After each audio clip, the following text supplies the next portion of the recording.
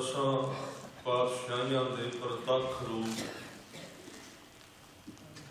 ਸਮਰੱਥ ਸਤਿਗੁਰੂ। ਸ੍ਰੀ ਗੁਰੂ ਗ੍ਰੰਥ ਸਾਹਿਬ ਜੀ ਦੀ ਹਜ਼ੂਰੀ ਵਿੱਚ ਜੁੜ ਬੈਠੇ ਸਤਿਕਾਰਯੋਗ ਸਾਧ ਸੰਗਤ ਜੀ ਸਤਿਗੁਰਾਂ ਦੇ ਚਰਨਾਂ ਵਿੱਚ ਝੁਕਾਈਏ ਸੀਸ ਫਤਿਹ ਬੁਲਾਓ। ਵਾਹਿਗੁਰੂ ਜੀ ਕਾ ਖਾਲਸਾ। ਵਾਹਿਗੁਰੂ ਜੀ ਕੀ ਫਤਿਹ। ਅੱਜ ਸਤਿਗੁਰ ਪਾਤਸ਼ਾਹ ਸ੍ਰੀ ਗੁਰੂ ਹਰਿਰਾਏ ਸਾਹਿਬ ਮਹਾਰਾਜ ਜੀ ਦਾ ਪ੍ਰਕਾਸ਼ ਗੁਰਪੁਰਬ ਭਾਵੇਂ ਕੱਲ ਲੰਘਿਆ ਪਰ ਅੱਜ ਵੀ ਮਨਾਇਆ ਜਾ ਰਿਹਾ ਹੈ। ਜਦੋਂ ਸਤਿਗੁਰਾਂ ਦੀ ਬਾਣੀ ਪੜ੍ਹੀਏ ਤੇ ਕੋਈ ਵੀ ਕਾਰਜ ਸਿੱਖੀ ਦੇ ਵਿੱਚ ਕੀਤਾ ਜਾਂਦਾ ਹੈ। ਬਿਨਾ ਵਜ੍ਹਾ ਤੋਂ ਜਾਂ ਬਿਨਾਂ ਨਿਸ਼ਾਨੇ ਦੀ ਪੂਰਤੀ ਤੋਂ ਕੋਈ ਵੀ ਕੰਮ ਨਹੀਂ। ਕੋਈ ਵੀ ਕੰਮ ਸਤਿਗੁਰੂ ਨੇ ਕਿਹਾ, ਜਿੱਥੇ ਕੰਮ ਕਿਹਾ ਤੇ ਸਿੱਖ ਨੂੰ ਇੱਕ ਹਦਾਇਤ ਜ਼ਰੂਰ ਕੀਤੀ ਹੈ ਵੀ ਜੇ ਉਸ ਕੰਮ ਦੇ ਵਿੱਚ ਤੇਰਾ ਕੋਈ ਨਿਸ਼ਾਨਾ ਨਹੀਂ, ਕੋਈ ਮੰਜ਼ਲ ਨਹੀਂ, ਕਿਤੇ ਪਹੁੰਚਣਾ ਨਹੀਂ ਤੇ ਫਿਰ ਉਸ ਕੰਮ ਦੇ ਵਿੱਚ ਤੂੰ ਐਵੇਂ ਸਮਾਂ ਹੀ ਗਵਾਏ ਨਾ ਤੇਰੇ ਮਨ ਵਿੱਚ ਸ਼ੌਂਕ ਜਾਗਣਾ ਹੈ, ਨਾ ਤੇਰੇ ਮਨ ਵਿੱਚ ਸ਼ਰਧਾ ਜਾਗਣੀ ਹੈ, ਕਿਉਂਕਿ ਦੋ ਲਫ਼ਜ਼ ਨੇ ਗੁਰਬਾਣੀ ਵਿੱਚ, ਕਾਰਨ ਤੇ ਕਾਰਜ। ਕਾਰਜ ਦਾ ਅਰਥ ਹੈ ਕੰਮ, ਤੇ ਕਾਰਨ ਦਾ ਅਰਥ ਹੈ ਜਿਹਦੇ ਵਾਸਤੇ ਉਹ ਕੰਮ ਕੀਤਾ ਗਿਆ ਹੈ। ਜਿੱਥੇ ਕਾਰਜ ਹੈ, ਤੇ ਕਾਰਨ ਨਹੀਂ ਉਸ ਕੰਮ ਵਿੱਚ ਬੰਦੇ ਦਾ ਮਨ ਨਹੀਂ ਟਿਕੇਗਾ। ਕਿਉਂਕਿ ਨਿਸ਼ਾਨਾ ਤੇ ਹੈ ਹੀ ਨਹੀਂ। ਜਿਵੇਂ ਉਦਾਹਰਨ ਦੇ ਤੌਰ ਤੇ ਮੈਂ ਇੱਕ ਦੋ ਉਦਾਹਰਨਾਂ ਦੇ ਰਿਹਾ ਇੱਕ ਕਾਰਨ ਹੈ, ਆਦਮੀ ਨੇ ਅੱਗੇ ਪ੍ਰਸ਼ਾਦਾ ਰੱਖਿਆ। ਉਹਦਾ ਕਾਰਨ ਹੈ ਉਹਨੂੰ ਭੁੱਖ ਲੱਗੀ ਪਈ। ਉਹ ਖਾਣਾ ਚਾਹੁੰਦਾ ਵੀ ਸਰੀਰ ਦੀ ਭੁੱਖ ਮਿਟੇਗੀ। ਤੇ ਤੁਸੀਂ ਵੇਖਿਆ ਹੋਣਾ ਇੱਕ ਬੰਦੇ ਨੂੰ ਭੁੱਖ ਲੱਗੀ ਏ, ਉਹਨੂੰ ਰੋਟੀ ਖਾਂਦੇ ਨੂੰ ਦੇਖੋ। ਤੇ ਇੱਕ ਨੂੰ ਭੁੱਖ ਨਹੀਂ, ਧੱਕੇ ਨਾਲ ਉਹਦੇ ਅੱਗੇ ਪਰੋਸ ਦਿਓ, ਦੋਵਾਂ ਦੇ ਪ੍ਰਸ਼ਾਦਾ ਛਕਣ ਵਿੱਚ ਫ਼ਰਕ ਪੈ ਜਾਏ। ਜਿਹਨੂੰ ਭੁੱਖ ਨਹੀਂ, ਉਹਦਾ ਛਕਣਾ ਉਹਦੇ ਹੱਥ, ਉਹਦਾ ਚਿਹਰਾ ਦੱਸੇਗਾ। ਉਹਦੇ ਚਿਹਰੇ ਤੇ ਚਿੰਨ ਪੈਦਾ ਹੋਣਗੇ ਦਲਿੱਦਰ ਦੇ। ਉਹਦੇ ਚਿਹਰੇ ਤੇ ਚਿੰਨ ਪੈਦਾ ਹੋਣਗੇ ਕਿ ਬੱਦਾ ਚੱਟੀ ਕਰ ਰਿਹਾ ਹੈ। ਪਰ ਜੇ ਦੂਜੇ ਵੱਲ ਵੇਖੋ ਤੇ ਉਹਦਾ ਬਾਹਰ ਕਿਤੇ ਧਿਆਨ ਹੀ ਨਹੀਂ, ਪੂਰਾ ਇਕਾਗਰ ਹੋਇਆ ਪਿਆ ਹੈ, ਕਿਉਂਕਿ ਅੰਦਰ ਭੁੱਖ ਲੱਗੀ ਹੋਈ। ਸਵਾਦ ਵੀ ਆਉਂਦਾ ਇਸ ਲਈ ਸੱਚੇ ਪਾਤਸ਼ਾਹ ਨੇ ਇੱਕ ਬਚਨ ਕਿਹਾ ਕਿ ਸਾਚੇ ਨਾਮ ਕੀ ਲਾਗੈ? ਭੂਖ। ਉਦ ਭੂਖੈ ਖਾਹੇ ਚਲੀਆਂ ਦੂਖ। ਗੁਰੂ ਕਿਰਪਾ ਕਰੇ ਜੇ ਸਿੱਖ ਤੇ, ਹਾਂ, ਇਹ ਜ਼ਰੂਰ ਹੈ ਕਿ ਪਹਿਲੇ ਦਿਨ ਨਾਮ ਦੀ ਭੁੱਖ ਨਹੀਂ ਲੱਗਦੀ। ਯਤਨ ਕਰਨਾ ਪੈਂਦਾ, ਧੱਕਾ ਕਰਨਾ ਪੈਂਦਾ, ਪਰ ਇਹ ਵੀ ਇੱਕ ਸਚਾਈ ਹੈ, ਭੁੱਖ ਤੋਂ ਬਿਨਾ ਦੁੱਖ ਨਹੀਂ ਕੱਟਿਆ ਜਾਣਾ ਇਹ ਜ਼ਰੂਰ ਗੱਲ ਹੈ ਕਿ ਇਹ ਨਹੀਂ ਕਹਿ ਰਿਹਾ ਮੈਂ ਕਿ ਪਹਿਲਾਂ ਭੁੱਖ ਲੱਗੇਗੀ ਤੇ ਫਿਰ ਸਿੱਖ ਬਾਣੀ ਪੜੇਗਾ ਪਰ ਇਹ ਵੀ ਨਿਸ਼ਾਨਾ ਹੋਣਾ ਚਾਹੀਦਾ ਕਿ ਸਾਡੇ ਵਿੱਚ ਇੱਛਾ ਹੋਵੇ ਭੁੱਖ ਲਾਉਣ। ਅਸੀਂ ਉਹ ਕੰਮ ਕਰੀਏ। ਮੇਰੇ ਸਾਹਮਣੇ ਛੋਟੀ ਜਿਹੀ ਘਟਨਾ ਆਈ। ਇਹਨਾਂ ਦੋਵਾਂ ਵਿਸ਼ਿਆਂ ਨਾਲ ਸੰਬੰਧ ਰੱਖਦੀ। ਗੁਰੂ ਅਰਜਨ ਦੇਵ ਪਾਤਸ਼ਾਹ ਜੀ ਦੀ ਹਜ਼ੂਰੀ ਵਿੱਚ ਦੋ ਸਿੱਖ ਆਉਂਦੇ ਦੋਵੇਂ ਦੋਵਾਂ ਦਾ ਕੰਮ ਜਿਹੜਾ ਘੋੜਿਆਂ ਦਾ ਵਪਾਰ ਸੁਦਾਗਰ ਨੇ। ਜਦੋਂ ਸੰਗਤ ਕੀਤੀ ਆਏ ਤੇ ਕਿਸੇ ਨਾਲ ਮਿਲ ਕੇ ਸਨ। ਪਰ ਜਦੋਂ ਬੰਦਾ ਸੰਗਤ ਕਰਦਾ ਹੈ ਜਾਂ ਸੰਗਤ ਵਿੱਚ ਬਹਿੰਦਾ ਜਿਵੇਂ ਭਾਈ ਸਾਹਿਬ ਜੀ ਨੇ ਦੱਸਿਆ ਵੀ ਬਵੇਗਾ ਤੇ ਪਤਾ ਲੱਗੇਗਾ। ਅੱਜ ਗੁਰਦੁਆਰਿਆਂ ਦੀ ਤਰਾਸਦੀ ਸਭ ਤੋਂ ਵੱਡੀ ਇਹ ਹੈ ਕਿ ਜਿੱਥੇ ਗੁਰੂ ਹੈ, ਉੱਥੇ ਚੌਥਾ ਹਿੱਸਾ ਸੰਗਤ ਦੇ ਜਿੱਥੇ ਲੰਗਰ ਤਿੰਨ ਹਿੱਸੇ ਉੱਥੇ ਹੋਵੇਗੇ, ਆਸੇ-ਪਾਸੇ ਭੀੜ ਹੋਵੇਗੀ। ਜਦੋਂ ਬਵੇਗਾ ਤੇ ਉੱਥੇ ਸੰਗਤ ਦਾ ਪ੍ਰਭਾਵ ਪਏਗਾ ਮਨ ਤੇ, ਉਹ ਕਿਤੇ ਬੈਠੇ ਤੇ ਚਾਰ ਲਫ਼ਜ਼ ਕੰਨਾਂ ਵਿੱਚ ਪਏ, ਮਨ ਜਾਗ ਪਿਆ ਪਤਾ ਲੱਗਾ ਆਪਾਂ ਇਸ ਜ਼ਮੀਨ ਤੇ ਕਾਹਦੇ ਵਾਸਤੇ ਕਰਨੇ ਆ ਕਿਉਂ ਆਏ ਆ ਤੇ ਉਹਨਾਂ ਨੇ ਹਜ਼ੂਰ ਦੇ ਚਰਨਾਂ ਵਿੱਚ ਜਾ ਕੇ ਬੇਨਤੀ ਕੀਤੀ, ਕਹਿਣ ਲੱਗੇ, ਸੱਚੇ ਪਾਤਸ਼ਾਹ ਯਤਨ ਕਰਨੇ ਆ ਨਾਮ ਜਪਣ ਦਾ ਬਾਣੀ ਨਾਲ ਜੁੜਨ ਦਾ ਪਰ ਚਿੱਤ ਜੁੜਦਾ ਨਹੀਂ ਇਸ ਕਰਕੇ ਛੱਡ ਦੇਦੀ ਸਤਿਗੁਰੂ ਨੇ ਪੁੱਛਿਆ ਕੰਮ ਕੀ ਕਰਦੇ ਹੋ? ਕਹਿਣ ਲੱਗੇ ਘੋੜਿਆਂ ਦਾ ਵਪਾਰ। ਤੇ ਗੁਰੂ ਸਾਹਿਬ ਦਾ ਇੱਕ ਤਰੀਕਾ ਸੀ ਕਿ ਜਿਵੇਂ ਦਾ ਆਦਮੀ ਆਇਆ ਹੈ, ਉਹਨੂੰ ਜਦੋਂ ਉਪਦੇਸ਼ ਦੇਣਾ ਪਹਿਲਾਂ ਉਹਦੀ ਕਿਰਤ ਪੁੱਛਣੀ ਹੈ ਕੰਮ ਕੀ ਕਰਨਾ ਹੈ। ਕਿਉਂਕਿ ਉਸ ਕੰਮ ਦੇ ਵਿੱਚ ਉਹਦਾ ਧਿਆਨ ਹੁੰਦਾ ਹੈ। ਤੇ ਸਤਿਗੁਰੂ ਫਿਰ ਉਸ ਕੰਮ ਦੇ ਵਿੱਚੋਂ ਉਦਾਹਰਨ ਲੈ ਕੇ ਉਹਨੂੰ ਸਮਝਾਉਂਦੇ ਸੀ। ਪੁੱਛਿਆ, ਕੰਮ ਕੀ ਕਰਦੇ ਹੋ? ਕਹਿੰਦੇ, ਘੋੜੇ ਖਰੀਦੀਦੇ ਨੇ, ਘੋੜੇ ਵੇਚੀਦੇ ਨੇ। ਹਜੂਰ ਨੇ ਕਿਹਾ, ਜਦੋਂ ਘੋੜੇ ਖਰੀਦ ਕੇ ਲਿਆਉਂਦੇ ਹੋ, ਕਿੱਥੇ ਰੱਖਦੇ ਹੋ? ਕਹਿਣ ਲੱਗੇ, ਘੋੜਿਆਂ ਦਾ ਇੱਕ ਅਸਤਬਲ ਹੈ। ਘੋੜਿਆਂ ਦਾ ਪੰਜਾਬੀ ਵਿੱਚ ਕਹੀਏ, ਇੱਕ ਵਾੜਾ ਹੈ। ਉਹਦੇ ਵਿੱਚ ਬੰਨ੍ਹਨੇ ਆ। ਹਜੂਰ ਨੇ ਅਗਲੀ ਗੱਲ ਕੀਤੀ। ਕਹਿਣ ਲੱਗੇ, ਉਹਨਾਂ ਵਿੱਚੋਂ ਕੁਝ ਘੋੜੇ ਬਿਮਾਰ ਵੀ ਹੁੰਦੇ ਹੋਣਗੇ। ਕਹਿਣ ਲੱਗੇ, ਹਾਂ, ਬਿਮਾਰ ਹੋ ਜਾਂਦੇ ਨੇ। ਫਿਰ ਕੀ ਕਰਦੇ ਹੋ? ਕਹਿਣ ਲੱਗੇ, ਅਸੀਂ ਇੱਕ ਬੜੀ ਵਧੀਆ ਦਵਾਈ ਤਿਆਰ ਕੀਤੀ ਚੂਰਨ। ਕੌੜਾ ਬੜਾ ਹੈ। ਉਹ ਅਸੀਂ ਉਹਨਾਂ ਨੂੰ ਖਵਾਉਂਦੇ ਆ ਤੇ ਉਹ ਚੂਰਨ ਖਾਣ ਦੇ ਨਾਲ ਉਹਨਾਂ ਦਾ ਰੋਗ ਦੂਰ ਹੁੰਦਾ ਹੈ। ਸਤਿਗੁਰੂ ਕਹਿੰਦੇ, ਉਹ ਜਿਹੜੀ ਦਵਾਈ ਖਵਾਉਂਦੇ ਹੋ, ਕਿ ਉਹਨਾਂ ਦੇ ਸਾਹਮਣੇ ਰੱਖੀ ਦੀ ਹੈ? ਤੇ ਉਹ ਆਪੇ ਖਾ ਲੈਂਦੇ ਨੇ? ਕਹਿਣ ਲੱਗੇ, ਨਹੀਂ। ਅਸੀਂ ਇੱਕ ਥਾਂ ਤੇ ਬਹੁਤ ਵੱਡੀ ਇੱਕ ਲੱਕੜ ਦੀ ਥੰਮ ਕੱਢਿਆ ਹੋਇਆ ਹੈ। ਉਹਦੇ ਨਾਲ ਪਹਿਲਾਂ ਉਹਨਾਂ ਘੋੜਿਆਂ ਨੂੰ ਬੰਨਣਾ ਪੈਂਦਾ ਤੇ ਬੰਨ ਕੇ ਉਹਨਾਂ ਦਾ ਮੂੰਹ ਧੱਕੇ ਨਾਲ ਖੋਲ ਕੇ ਨਾਲ ਦੇ ਨਾਲ ਉਹਨਾਂ ਦੇ ਮੂੰਹ ਦੇ ਵਿੱਚ ਦਵਾਈ ਧੱਕੇ ਨਾਲ ਪਾਈਦੀ ਏ, ਤਾਂ ਦਵਾਈ ਉਹਨਾਂ ਦੇ ਅੰਦਰ ਜਾਂਦੀ ਹੈ ਹਜੂਰ ਨੇ ਕਿਹਾ, ਤੁਹਾਡੇ ਸਵਾਲ ਦਾ ਜਵਾਬ ਤੁਹਾਡੀ ਕਿਰਤ ਵਿੱਚ ਮੌਜੂਦ ਹੈ ਕਹਿਣ ਲੱਗੇ, ਵੇਖੋ, ਘੋੜਾ ਤੁਹਾਡਾ 4 ਦਿਨਾਂ ਦਾ ਬਿਮਾਰ ਹੁੰਦਾ ਹੈ। ਤੇ ਉਹਨੂੰ ਅਰੋਗ ਕਰਨ ਵਾਸਤੇ ਜੇ ਉਹਨੂੰ ਦਵਾਈ ਖਵਾਉਣ ਜਾਓ ਤੇ ਆਪ ਨਹੀਂ ਖਾਂਦਾ, ਉਹਨੂੰ ਬੰਨ ਕੇ ਖਵਾਣੀ ਪੈਂਦੀ ਏ। ਕਹਿਣ ਲੱਗੇ, ਮਨ ਦਾ ਘੋੜਾ ਤੇ ਕਈ ਜਨਮਾਂ ਤੋਂ ਬਿਮਾਰ ਏ। ਕੀ ਸੋਚਦੇ ਹੋ ਵੀ ਆਪਣੇ ਆਪ ਪਾਣੀ ਪੜਦਾ ਇਹਨੂੰ ਵੀ ਬੰਨਣਾ ਪਏਗਾ ਇਹਨੂੰ ਬੰਨ ਕੇ ਕਿਸੇ ਥਾਂ ਤੇ, ਕਿਸੇ ਧੱਕੇ ਵਿੱਚ, ਕਿਸੇ ਦ੍ਰਿੜਤਾ ਵਿੱਚ, ਕਿਸੇ ਇਕਾਗਰਤਾ ਵਿੱਚ। ਇਸ ਲਈ ਗੁਰਸਿੱਖ ਸਭ ਤੋਂ ਪਹਿਲਾਂ ਆਪਣੇ ਸਰੀਰ ਨੂੰ ਸੋਧਦਾ ਹੈ। ਜੇ ਉਹਨੇ ਸਿੱਖੀ ਕਮਾਉਣੀ ਹੈ ਸਭ ਤੋਂ ਪਹਿਲਾ ਕਾਰਨ ਉਹਦੇ ਸਰੀਰ ਤੋਂ ਆਰੰਭ ਹੋਵੇਗਾ ਜੇ ਉਹਦਾ ਸਰੀਰ ਹੀ ਨਹੀਂ ਟਿਕਦਾ ਸੰਗਤ ਵਿੱਚ, ਜਾਂ ਬਾਣੀ ਪੜਨ ਲੱਗਿਆ, ਉਹਦੀਆਂ ਅੱਖਾਂ ਹੀ ਹਿੱਲੀ ਜਾਂਦੀਆਂ ਨੇ ਇੱਧਰ ਉੱਧਰ, ਜਾਂ ਉਹ ਗੋਡੇ ਬਦਲੀ ਜਾਂਦਾ ਹੈ, ਤੇ ਫਿਰ ਆਸ ਨਾ ਕਰਨਾ ਵੀ ਉਸ ਹਿਲਦੇ ਹੋਏ ਸਰੀਰ ਦੇ ਵਿੱਚ ਕੋਈ ਮਨ ਦਾ ਟਿਕਾ ਆ ਜਾਏ। ਸਭ ਤੋਂ ਪਹਿਲਾਂ ਸਰੀਰ ਦਾ ਟਿਕਾ ਹੈ ਸਤਿਗੁਰੂ ਨੇ ਉਪਦੇਸ਼ ਦਿੱਤਾ। ਮੈਂ ਬੇਨਤੀ ਸਾਂਝੀ ਕਰ ਰਿਹਾ ਸੀ ਜਿਸ ਵਿਸ਼ੇ ਤੇ ਕਾਰਨ ਤੇ ਕਾਰਜ ਹੁਣ ਮੈਂ ਅੱਜ ਦੇ ਗੁਰਪੁਰਬ ਦੇ ਸੰਬੰਧ ਵਿੱਚ ਤਾਂ ਇਹ ਵਿਸ਼ਾ ਲਿਆ ਸੀ ਵੀ ਸਿੱਖੀ ਦੇ ਵਿੱਚ ਕੋਈ ਵੀ ਕੰਮ ਸਿੱਖ ਕਰਦਾ ਹੈ, ਉਹਦਾ ਇੱਕ ਕਾਰਨ ਜ਼ਰੂਰ ਹੋਣਾ ਚਾਹੀਦਾ ਹੈ। ਜੇ ਉਹ ਪਾਠ ਕਰਦਾ ਹੈ, ਤੇ ਉਹਦਾ ਕਾਰਨ ਇੱਧਰ ਧਿਆਨ ਰੱਖੇ ਸਿੱਖ ਕਿ ਮੇਰਾ ਮਨ ਇਕਾਗਰ ਹੋ ਕੇ ਸ਼ਬਦ ਦੇ ਦੁਆਲੇ ਟਿਕਦਾ ਪਿਆ ਜਾਂ ਵਿੱਚੋਂ ਨਿਕਲ ਕੇ ਬਾਹਰ ਜਾ ਰਿਹਾ ਹੈ। ਇਹ ਉਹਦਾ ਕੰਮ ਹੈ। ਉਹਨੂੰ ਵਰਜ ਵਰਜ ਕੇ ਉਸ ਗੁਰੂ ਕੇ ਸ਼ਬਦ ਵਿੱਚ ਲਿਆਉਣਾ। ਉਸ ਘੇਰੇ ਦੇ ਵਿੱਚ ਟਿਕਾਉਣਾ, ਬਾਣੀ ਪੜਨ ਦਾ ਇਹ ਕਾਰਜ ਹੈ ਤੇ ਜਿਹੜਾ ਅੱਜ ਦਾ ਦਿਨ ਹੈ, ਮੈਂ ਜਿਹੜੀ ਬੇਨਤੀ ਕਰ ਰਿਹਾ ਸੀ, ਸਿੱਖੀ ਦੇ ਵਿੱਚ ਜਿੱਥੇ ਸਖਸ਼ੀ ਕਾਰਜ ਨੇ, ਸਖਸ਼ੀ ਦਾ ਮਤਲਬ ਜਿਹੜੇ ਆਪਣੇ ਨਾਲ ਕੱਲਾ ਸੰਬੰਧ ਰੱਖਦੇ ਨੇ ਪਰਸਨਲ ਇੱਕ ਤੇ ਸਖਸ਼ੀ ਧਰਮ ਹੈ ਸਿੱਖ ਦਾ, ਸਖਸ਼ੀ ਧਰਮ ਹੈ ਸਵੇਰੇ ਉੱਠਿਆ ਤੇ ਆਪਣੇ ਬੈੱਡ ਤੇ ਬਹਿ ਕੇ ਘਰ ਦਾ ਨਿਤਨੇਮ ਕਰਦਾ। ਉਹਨੂੰ ਕਹਿੰਦੇ ਸਖਸ਼ੀ ਧਰਮ, ਸਖਸ਼ੀ ਰਹਿਣੀ।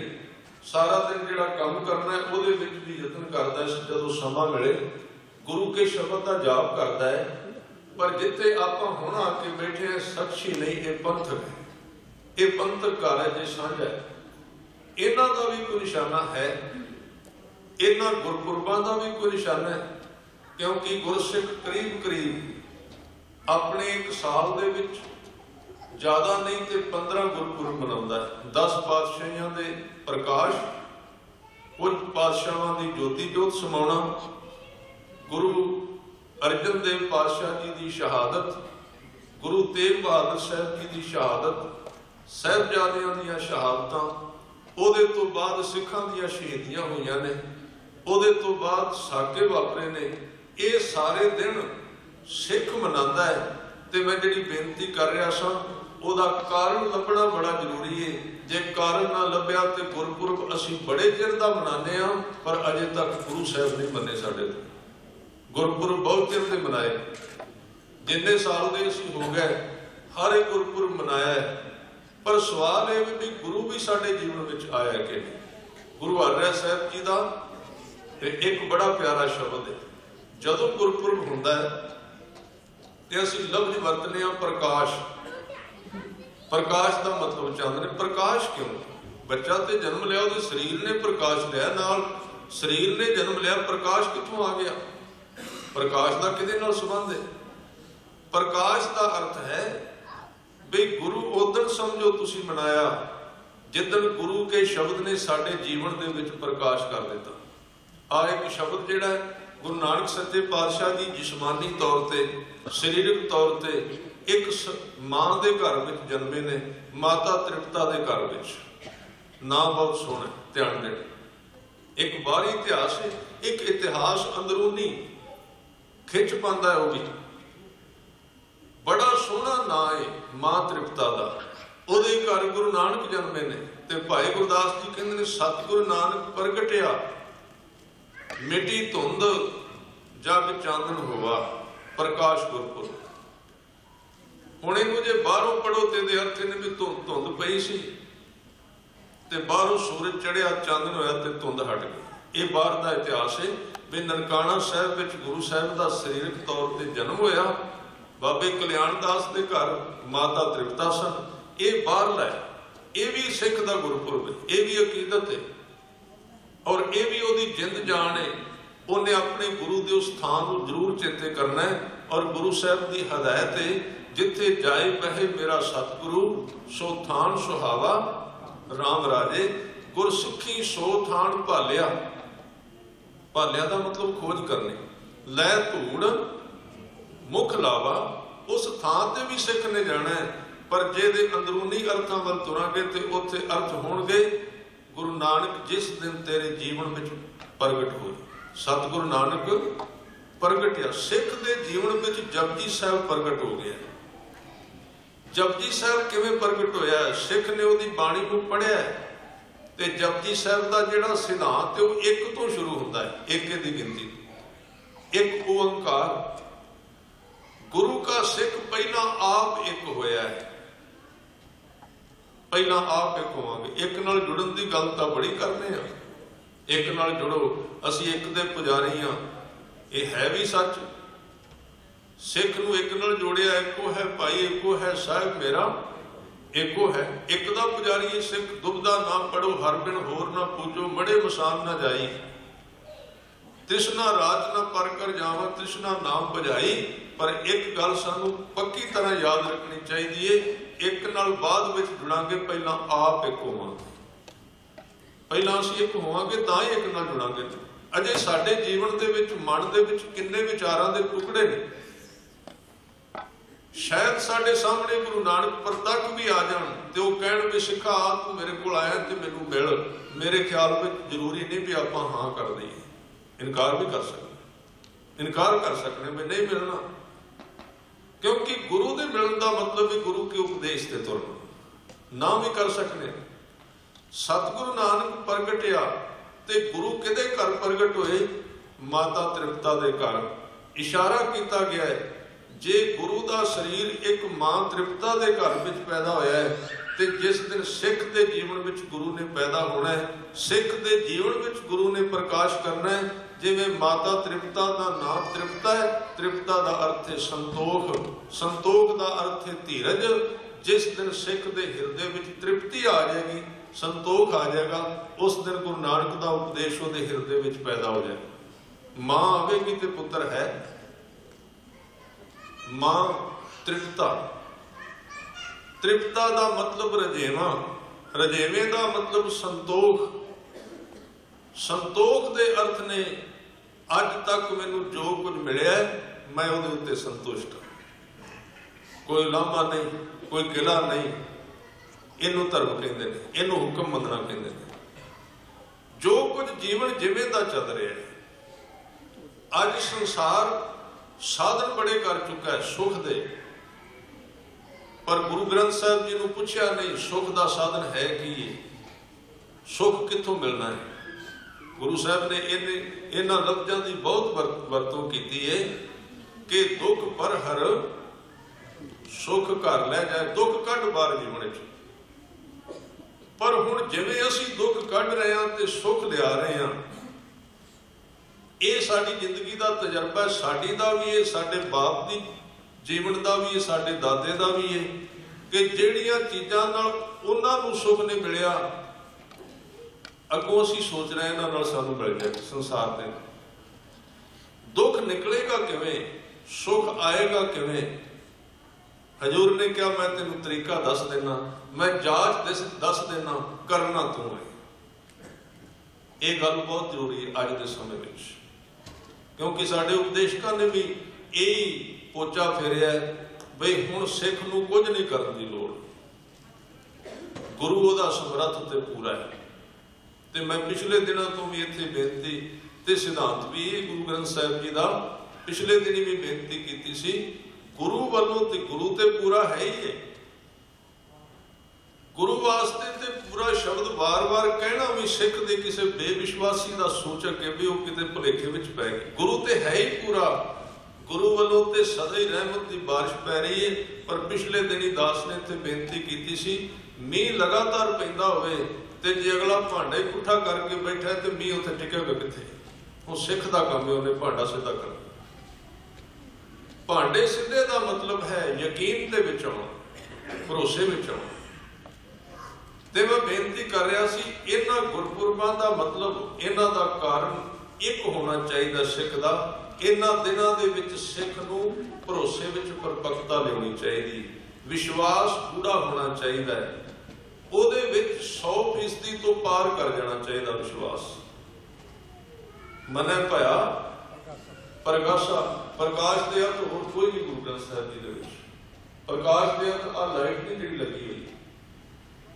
ਜਿੱਥੇ ਵੀ ਗੁਰੂ ਗ੍ਰੰਥ ਸਾਹਿਬ ਵਿੱਚ ਪ੍ਰਕਾਸ਼ ਸ਼ਬਦ ਆਏਗਾ ਤੇ ਜਿੱਥੇ ਹਨੇਰਾ ਸ਼ਬਦ ਆਏਗਾ, ਉਸ ਪ੍ਰਕਾਸ਼ ਦੇ ਕੋਈ ਮਟੀਰੀਅਲ ਦੇ ਪ੍ਰਕਾਸ਼ ਨਾਲ ਆ ਜਿਹੜਾ ਬਾਹਰੋਂ ਲਾਈਟ ਨਾਲ ਆ ਰਿਹਾ ਹੈ, ਜਾਂ ਜਿਹੜਾ ਆ ਬਾਹਰਲਾ ਹਨੇਰਾ ਹੈ, ਇਹਦੇ ਨਾਲ ਕੋਈ ਲੈਣਾ ਦੇਣਾ ਨਹੀਂ ਹੈ। ਸਾਰੇ ਧਰਮਾਂ ਦੇ ਵਿੱਚ ਸ਼ੁਰੂ ਤੋਂ ਲੈ ਕੇ ਜਿੱਥੇ ਧਰਮ ਦੀ ਗੱਲ ਕੀਤੀ ਗਈ ਹੈ, ਉੱਥੇ ਦੀਵਾ ਬਾਲਿਆ ਗਿਆ ਉੱਥੇ ਜੋਤ ਲਾਈ ਗਈ ਹੈ, ਜਾਂ ਉੱਥੇ ਲਾਈਟ ਕੀਤੀ ਗਈ, ਚਾਨਣ ਕੀਤਾ ਗਿਆ ਕਾਦੇ ਵਾਸਤੇ? ਉਹ ਇਸ਼ਾਰਾ ਕੀਤਾ ਸੀ ਵੀ ਗੁਰੂ ਤੇਰੇ ਹਨੇਰੇ ਵਿੱਚ ਚਾਨਣ ਕਰੇਗਾ। ਹਨੇਰੇ ਦਾ ਅਰਥ ਬੇਵਿਸ਼ਵਾਸੀ, ਚਾਨਣ ਦੇ ਅਰਥ ਵਿਸ਼ਵਾਸ। ਵਿਸ਼ਵਾਸ ਦੇ ਅਰਥ। ਚਾਨਣ ਦੇ ਹੋਰ ਕੋਈ ਅਰਥ ਨਹੀਂ। ਮਨੈ ਭਇਆ ਪ੍ਰਗਾਸਾ। ਮਨ ਵਿੱਚ ਵਿਸ਼ਵਾਸ ਆ ਜਾਏ ਕਿ ਮੇਰਾ ਗੁਰੂ ਗ੍ਰੰਥ ਸਾਹਿਬ ਜੋ ਕੁਝ ਕਹਿ ਰਹੇ ਨੇ, ਇਹ ਇੱਕ ਸੰਪੂਰਨ ਸੱਚ ਹੈ ਤੇ ਬੰਦਾ ਉਹਨੂੰ ਪੂਰੀ ਤਰ੍ਹਾਂ ਸਵੀਕਾਰ ਵੀ ਕਰ ਲਏਗਾ। ਅਕਾਲੀ ਕਿਸੇ ਬੱਚੀ ਨੇ ਇੱਥੇ ਪੁੱਛਿਆ ਸੀ ਹੁਣ ਸਵਾਲ ਤੇ ਪੈਦਾ ਹੁੰਦੇ ਨੇ ਸੁਣ ਕੇ ਕਈ, ਪਰ ਉਹਨਾਂ ਦਾ ਹੱਲ ਹੁਣ ਟਾਈਮ ਤੋਂ ਬਿਨਾ ਨਹੀਂ ਕਿ ਤੁਰਦੇ ਤੁਰਦੇ ਉਹਦੇ ਜਵਾਬ ਦੇ ਸਕੀਏ। ਸਵਾਲ ਬਹੁਤ ਚੰਗਾ ਸੀ। ਉਹਨੇ ਪੁੱਛਿਆ ਸੀ ਕਿ ਪ੍ਰਵਾਨ ਦੇ ਕੀ ਅਰਥ ਨੇ? ਜਪਜੀ ਸਾਹਿਬ ਵਿੱਚ ਜਿਹੜਾ ਸ਼ਬਦ ਪ੍ਰਵਾਨ ਹੁੰਦਾ ਪ੍ਰਵਾਨ ਕੀ ਹੈ? ਕਿਉਂਕਿ ਗੁਰੂ ਸਾਹਿਬ ਕਹਿੰਦੇ, ਪੰਜ ਪ੍ਰਵਾਨ ਪੰਚ ਪ੍ਰਧਾਨ ਪੰਚੇ ਪਾਵੇਂ ਦਰਗਹਿ ਮਾਨ। ਪ੍ਰਵਾਨ ਦੇ ਅਰਥ ਨੇ ਜਿਹਨੇ ਗੁਰੂ ਦੇ ਹੁਕਮ ਨੂੰ ਪ੍ਰਵਾਨ ਕਰ ਲਿਆ। ਉਹਨੂੰ ਪ੍ਰਵਾਨ ਕਹਿੰਦੇ ਹੋਰ ਕੋਈ ਪ੍ਰਵਾਨ ਨਹੀਂ। ਨਾ ਕੋਈ ਪ੍ਰਵਾਨ ਨਹੀਂ ਹੈ। ਪਰਵਾਨਾ ਸ਼ਬਦ ਵੀ ਇੱਥੋਂ ਨਿਕਲਿਆ ਹੈ ਕਿ ਜਿਹਨੇ ਚਾਨਣ ਦੇ ਉੱਤੇ ਮਰਨਾ ਸਵੀਕਾਰ ਕਰ ਲਿਆ ਹੈ, ਜਿਹਨੇ ਦੀਵੇ ਦੇ ਉੱਤੇ ਛਾਲ ਮਾਰ ਦਿੱਤੀ ਪਰਵਾਨਾ। ਪਰਵਾਨਾ ਭੰਬੜ ਤੋਂ ਬਣਿਆ ਸ਼ਬਦ। ਆ ਦੀਵੇ ਹੁਣ ਤਾਂ ਉਹ ਜਗਦੇ ਨਹੀਂ। ਪਹਿਲਾਂ ਦੀਵੇ ਬਾਲੇ ਜਾਂਦੇ ਸਨ ਸੌਣ ਭਾਦਰੋਂ ਦੇ ਦਿਨਾਂ ਵਿੱਚ, ਤੇ ਦੂਰੋਂ ਦੂਰੋਂ ਭੰਬੜ ਟੁੱਟ ਟੁੱਟ ਕੇ ਉਹਦੇ ਉੱਤੇ ਆ ਕੇ ਛਾਲਾ ਮਾਰ ਕੇ ਸੜ ਕੇ ਮਰ ਜਾਂਦੇ ਸੀ। ਪੰਜ ਪਰਵਾਨ ਪਰਵਾਨ ਗੁਰੂ ਨਾਨਕ ਦੇ ਘਰ ਵਿੱਚ ਸਿਰਫ ਉਹ ਹੋਇਆ ਜਿਨੇ ਗੁਰੂ ਨਾਨਕ ਦੇ ਸੱਚ ਦੀ ਲਾੜ ਦੇ ਉੱਤੇ ਆਪਣਾ ਜੀਵਨ ਵਾਰ ਦਿੱਤਾ, ਛਾਲ ਮਾਰ ਦਿੱਤੀ, ਪਿੱਛੇ ਪਰਤ ਕੇ ਵੇਖਿਆ। ਉਹ ਹੀ ਸਿਰਫ ਐਂਟਰੀ ਕਰ ਸਕਿਆ ਇਸ ਘਰ ਦੇ ਵਿੱਚ। ਹੋਰ ਕੋਈ ਪਰਵਾਨ ਨਹੀਂ। ਪਰਵਾਨ ਦੇ ਅਰਥ ਨੇ ਪਰਵਾਨਾ, ਪਰਵਾਨੇ ਦੇ ਅਰਥ ਨੇ ਦੀਵੇ ਦੇ ਉੱਤੇ ਛਾਲ ਮਾਰ ਕੇ ਆਪਣੇ ਆਪ ਨੂੰ ਖਤਮ ਕਰਨ ਵਾਲਾ ਤੇ ਪੰਜ ਪਰਵਾਨ ਉਹ ਸਿੱਖ ਹੈ ਜਿਹਨੇ ਗੁਰੂ ਗ੍ਰੰਥ ਸਾਹਿਬ ਜੀ ਦੇ ਸੱਚ ਦੇ ਬਲ ਦੀ ਲਾੜ ਦੇ ਉੱਤੇ ਜੀਵਨ ਵਾਰ ਦਿੱਤਾ ਹੈ। ਨਿਸ਼ਾਵਰ ਕਰ ਦਿੱਤਾ ਉਹਨੂੰ ਕਹਿੰਦੇ ਪਰਵਾਨਾ। ਉਹ ਸਰੀਰਕ ਮੌਤ ਦੇ ਅਰਥ ਨਹੀਂ, ਉਹਨੇ ਹੁਕਮ ਮੰਨ ਲਿਆ ਤੇ ਜੇ ਸਿੱਖ ਸਾਰੀ ਉਮਰ ਸਲਾਵਾਂ ਵਿੱਚ ਪਿਆ ਰਿਹਾ ਵੀ ਵੇਖਾਂਗੇ, ਕਰਾਂਗੇ, ਹੋਵੇਗਾ, ਫਿਰ ਇਉਂ ਸਮਝ ਲੈਣਾ ਕਿ ਕੋਈ ਵਿਅਕਤੀ ਸਾਰੀ ਉਮਰ ਵੀ ਕਿਸੇ ਬੇੜੀ ਦੀ ਪਰਕਰਮਾ ਕਰਦਾ ਰਹੇ ਜਿੰਨਾ ਚਿਰ ਬੇੜੀ ਦੇ ਉੱਤੇ ਪੈਰ ਨਹੀਂ ਰੱਖਦਾ ਉਹ ਸਫਰ ਨਹੀਂ ਕਰ ਸਕੇਗਾ ਸਾਰੀ ਉਮਰ ਬੇੜੀ ਦੇ ਦੁਆਲੇ ਬੇੜੀ ਨੂੰ ਵੇਖਿਆ ਬੇੜੀ ਨੂੰ ਮੱਥਾ ਟੇਕਿਆ ਬੇੜੀ ਨੂੰ ਵੇਖ ਕੇ ਚਲੇ ਗਏ ਸਾਰੀ ਉਮਰ ਲੰਘ ਇਸ ਲਈ ਲਫ਼ਜ਼ ਬਹੁਤ ਪਿਆਰੇ ਚੁਣੇ ਗਏ ਨੇ ਹਨ ਤੇ ਕਵਿਤਾ ਦੇ ਕਿ ਨਾਨਕ ਨਾਮ ਜਹਾਜ਼ ਹੈ। ਇਹ ਕਵਿਤਾ ਹੈ, ਬਾਣੀ ਨਹੀਂ। ਅਕਾਲ ਪੁਰਖ ਦਾ ਨਾਮ ਜਹਾਜ਼ ਹੈ। ਪਰ ਅੱਗੇ ਇੱਕ ਸ਼ਬਦ ਬਹੁਤ ਪਿਆਰਾ ਵਰਤਿਆ ਉਹ ਕਹਿੰਦੇ ਚੜੇ ਸੋ ਉਤਰੇ, ਪਾਰ ਪਾਰ ਉਹਨੇ ਉਤਰਨਾ ਜਿਹੜਾ ਚੜੇਗਾ ਨਹੀਂ ਤੇ ਜਹਾਜ਼ ਨੂੰ ਵੇਖਣ ਵਾਲਿਆਂ ਦੀ ਭੀੜ ਬੜੀ ਹੁੰਦੀ, ਜਹਾਜ਼ ਆਇਆ। ਵੇਖਿਆ, ਬੜਾ ਸੋਹਣਾ ਜਹਾਜ਼ ਜਹਾਜ਼ ਦੀ ਕੀਤੀ ਉਪਮਾ। ਉਹ ਸੱਜਣ ਨੇ ਕਿਹਾ, ਜੇ ਪੈਰ ਰੱਖੇਗਾ ਤੇ ਜਹਾਜ਼ ਤੇ ਉਤਾਰੇਗਾ, ਨਹੀਂ ਤੇ ਵੇਖਣ ਨਾਲ ਤੇਰਾ ਕੋਈ ਨਹੀਂ ਸਵਾਲ ਜੜੇ ਉਤਰੇ ਪਾਰ। ਗਹਿਰਾ ਵਿਸ਼ਵਾਸ ਤੇ ਗੁਰਪੁਰਬ ਤਾਂ ਮਨਾਏ ਜਾਂਦੇ ਸਿੱਖ ਨੂੰ ਹੁਕਮ ਹੈ ਕਿ ਗੁਰਪੁਰਬ ਵਾਲੇ ਦਿਨ ਗੁਰੂ ਕਾ ਸਿੱਖ ਗੁਰਦੁਆਰੇ ਜ਼ਰੂਰ ਜਾਵੇ। ਇਹ ਰਹਿਤਨਾਮਿਆਂ ਦੇ ਵਿੱਚ ਸਿੱਖ ਨੂੰ ਹੁਕਮ ਦਿੱਤਾ ਹੈ ਇਥੋਂ ਤੱਕ ਵੀ ਮਿਲਦਾ ਹੈ ਕਿ ਗੁਰਪੁਰਬ ਵਾਲੇ ਦਿਨ ਜੇ ਸਿੱਖ ਆਪਣੇ ਗੁਰੂ ਨੂੰ ਨਮਸਕਾਰ ਨਹੀਂ ਕਰਦਾ, ਤੇ ਉਹ ਊਣਾ ਰਹਿ ਗਿਆ, ਘਾਟਾ ਪੈ ਗਿਆ ਉਹਦੀ ਜ਼ਿੰਦਗੀ ਦੇ ਵਿੱਚ, ਕਮੀਆਂ। ਤਾਂ ਸਭ ਤੋਂ ਪਹਿਲਾਂ ਗੁਰਪੁਰਬ ਦਾ ਮਤਲਬ ਇਹ ਹੈ ਕਿ ਗੁਰਪੁਰਬ ਦੀ ਗੁਰੂ ਦੀ ਭੁੱਖ ਲੱਗ ਜਾਣੀ। ਗੁਰੂ ਨਾਨਕ ਦਾ ਜੀਵਨ ਵਿੱਚ ਪ੍ਰਗਟ ਹੋ ਜਾਣਾ ਤੇ ਭਾਈ ਗੁਰਦਾਸ ਜੀ ਕਹਿੰਦੇ ਨੇ, ਜਿਸ ਸਿੱਖ ਦੇ ਜੀਵਨ ਵਿੱਚ ਗੁਰੂ ਨਾਨਕ ਸੱਚੇ ਪਾਤਸ਼ਾਹ ਜੀ ਦਾ ਉਪਦੇਸ਼ ਪ੍ਰਗਟ ਹੋ ਗਿਆ, ਉਹਦੀ ਜ਼ਿੰਦਗੀ ਦੇ ਵਿੱਚੋਂ ਬੇਵਿਸ਼ਵਾਸੀ ਸ਼ੰਕਿਆਂ ਦੀ ਤੇ ਜਿਹੜਾ ਡਬਲ ਮਾਈਂਡ ਜੀਵਨ ਹੈ, ਉਹ ਧੁੰਦ ਨਸ਼ਟ ਹੋ ਗਈ। ਸਤਿਗੁਰੂ ਨਾਨਕ ਪ੍ਰਗਟਿਆ, ਮਿਟੀ ਧੁੰਦ। ਆ ਧੁੰਦ ਜਿਹੜੀ ਹੁੰਦੀ ਹੈ ਨਾ ਮਨੁੱਖੀ ਕਹਿੰਦੇ ਜਿਹਦੇ ਵਿੱਚ ਦਿਸਦਾ ਵੀ ਹੈ ਤੇ ਨਹੀਂ ਵੀ ਦਿਸਦਾ। ਜਿਵੇਂ ਅਸੀਂ ਜੀ ਰਹੇ ਹਾਂ, ਅਸੀਂ ਕਈ ਚੀਜ਼ਾਂ ਫੈਸਲੇ ਨਹੀਂ ਲੈ ਸਕੇ ਬੜਾ ਚਿਰ ਹੋ ਗਿਆ ਲੈਂਦੇ ਉਹਦੇ ਬਾਰੇ ਅਸੀਂ ਇਹ ਫਾਈਨਲ ਨਹੀਂ ਕਰ ਸਕੇ ਵੀ ਆ ਗੱਲ ਕਿਸ ਤਰ੍ਹਾਂ ਕਰਨੀ ਹੈ। ਉਹਨੂੰ ਕਹਿੰਦੇ ਧੁੰਦ ਪਈ ਹੋਈ ਹੈ। ਧੁੰਦ ਅੰਨਾ ਜਿਹਾ ਦਿਸਦਾ ਹੈ, ਨਜ਼ਰ ਨਹੀਂ ਆਉਂਦਾ ਜੀ। ਜਿਵੇਂ ਸ਼ੀਸ਼ੇ ਦੇ ਅੱਗੇ ਧੂੜ ਜੰਮ ਗਈ, ਮਿੱਟੀ ਜੰਮ ਗਈ, ਬੇਵਿਸ਼ਵਾਸੀ ਆ ਗਈ। ਭਰੋਸਾ ਨਹੀਂ ਰਿਹਾ। ਇਸ ਕਰਕੇ ਉਸ ਸਿੱਖ ਦੇ ਜੀਵਨ ਵਿੱਚੋਂ ਧੁੰਦ ਉੱਡ ਗਈ, ਜਿਹਦੇ ਜੀਵਨ ਵਿੱਚ ਜਪਜੀ ਸਾਹਿਬ ਪ੍ਰਗਟ ਹੋ ਗਿਆ। ਤੇ ਜਪਜੀ ਸਾਹਿਬ ਦਾ ਮੂਲ ਸਿਧਾਂਤ, ਪਹਿਲਾ ਸਿਧਾਂਤ ਇਹ ਹੈ ਕਿ ਸਭਨਾ ਜੀਆਂ ਕਾ ਇੱਕ ਦਾਤਾ, ਸੋ ਮੈਂ ਵਿਸਰ ਨਾ ਜਾਈ। ਇਹ ਪਹਿਲਾ ਸਿਧਾਂਤ ਹੈ ਜਪਜੀ ਸਾਹਿਬ ਦਾ। ਇੱਕ ਨਾਲ ਜੁੜਨਾ, ਤੇ ਇੱਕ ਨਾਲ ਜੁੜਨ ਵਾਸਤੇ ਵਿਅਕਤੀ ਨੂੰ ਇੱਕ ਹੋਣਾ ਪਏਗਾ। ਉਹਦੇ ਨਾਲ ਸਾਂਝ ਪਏਗੀ। ਇਹ ਪ੍ਰਯੋਜਨ ਹੈ ਗੁਰਪੁਰਬ ਦਾ। ਤੇ ਮੈਂ ਗੁਰੂ ਹਰਿਰਾਏ ਸਾਹਿਬ, ਸੱਚੇ ਪਾਤਸ਼ਾਹ ਜੀ ਦੇ ਜੀਵਨ ਦੇ ਸੰਬੰਧ ਵਿੱਚ ਕੁਝ ਬੇਨਤੀਆਂ, ਕੁਝ ਮਿੰਟਾਂ ਵਿੱਚ ਕਰਾਂ। ਸੱਚੇ ਪਾਤਸ਼ਾਹ ਜੀ ਦਾ ਜੀਵਨ ਬਹੁਤ ਅਜੀਬ ਹੈ। ਸਰੀਰਕ ਉਮਰ ਕੇਵਲ 31 ਸਾਲ ਦੀ ਤੇ 13 14 ਸਾਲ ਦੀ ਉਮਰ ਵਿੱਚ ਗੁਰਦਾ ਗੱਦੀ ਤੇ ਬੈਠੇ। ਇੱਕ ਹੋਰ ਬੜੀ ਵਿਲੱਖਣਤਾ ਹੈ ਕਿ ਗੁਰੂ ਹਰਿਰਾਏ ਸਾਹਿਬ ਜੀ ਜਦੋਂ ਗੁਰਦਾ ਗੱਦੀ ਤੇ ਬੈਠੇ ਨੇ, ਉਸ ਵਕਤ ਗੁਰੂ ਤੇਗ ਬਹਾਦਰ ਸਾਹਿਬ ਉਹਨਾਂ ਤੋਂ ਵੱਡੀ ਉਮਰ ਵਿੱਚ ਮੌਜੂਦ ਸਨ। ਪਰ ਛੇਵੇਂ ਪਾਤਸ਼ਾਹ ਨੇ ਗੁਰੂ ਤੇਗ ਬਹਾਦਰ ਸਾਹਿਬ ਜੀ ਨੂੰ ਗਤੀ ਨਹੀਂ ਦਿੱਤੀ ਉਸ ਵਕਤ। ਹਾਲਾਂਕਿ ਪੁੱਤਰ ਸਨ ਗੁਰੂ ਹਰਗੋਬਿੰਦ ਸਾਹਿਬ ਜੀ। ਗੁਰੂ ਹਰਗੋਬਿੰਦ ਸਾਹਿਬ ਜੀ ਪੋਤਰੇ ਸਨ, ਬਾਬੇ ਗੁਰਦਿੱਤੇ ਦੇ ਪੁੱਤਰ ਸਨ। ਪੋਤਰੇ ਨੂੰ ਚੁਣਿਆ ਪਹਿਲਾਂ। ਪੋਤਰੇ ਨੂੰ ਚੁਣ ਕੇ ਨਾਲ ਰੱਖਿਆ ਛੋਟੀ ਉਮਰ ਤੋਂ।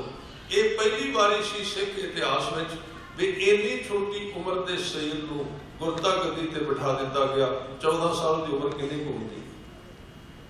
14 ਸਾਲ ਦੀ ਉਮਰ ਵਿੱਚ। ਤੇ ਗੁਰੂ ਹਰਿਰਾਏ ਸਾਹਿਬ ਜੀ ਦੇ ਜੀਵਨ ਦੇ ਵਿੱਚ ਮੈਂ ਇੱਕ ਹੀ ਚੀਜ਼ ਸਾਂਝੀ ਕਰ ਸਕਾਂਗਾ। ਦੋ ਵਿਰੋਧੀ ਚੀਜ਼ਾਂ ਦਾ ਜੋੜ ਹੈ ਉਹਨਾਂ ਦੇ ਜੀਵਨ ਵਿੱਚ। ਦੋ ਵਿਰੋਧੀ ਚੀਜ਼ਾਂ। ਇੱਕ ਪਾਸੇ ਉਹਨਾਂ ਦੇ ਜੀਵਨ ਦੇ ਵਿੱਚ ਦਇਆ ਇੰਨੀ ਹੈ ਕਿ ਜੇ ਉਹਨਾਂ ਦੇ ਚੋਲੇ ਦੇ ਨਾਲ ਫੁੱਲ ਲੱਗ ਕੇ ਟੁੱਟਦਾ ਹੈ ਤੇ ਕਿੰਨਾ ਕਿੰਨਾ ਚਿਰ ਅੱਖਾਂ ਦਾ ਪਾਣੀ ਨਹੀਂ ਰੁਕਦਾ, ਵੀ ਮੇਰੇ ਕਰਕੇ ਇੱਕ ਫੁੱਲ ਟੁੱਟ ਗਿਆ।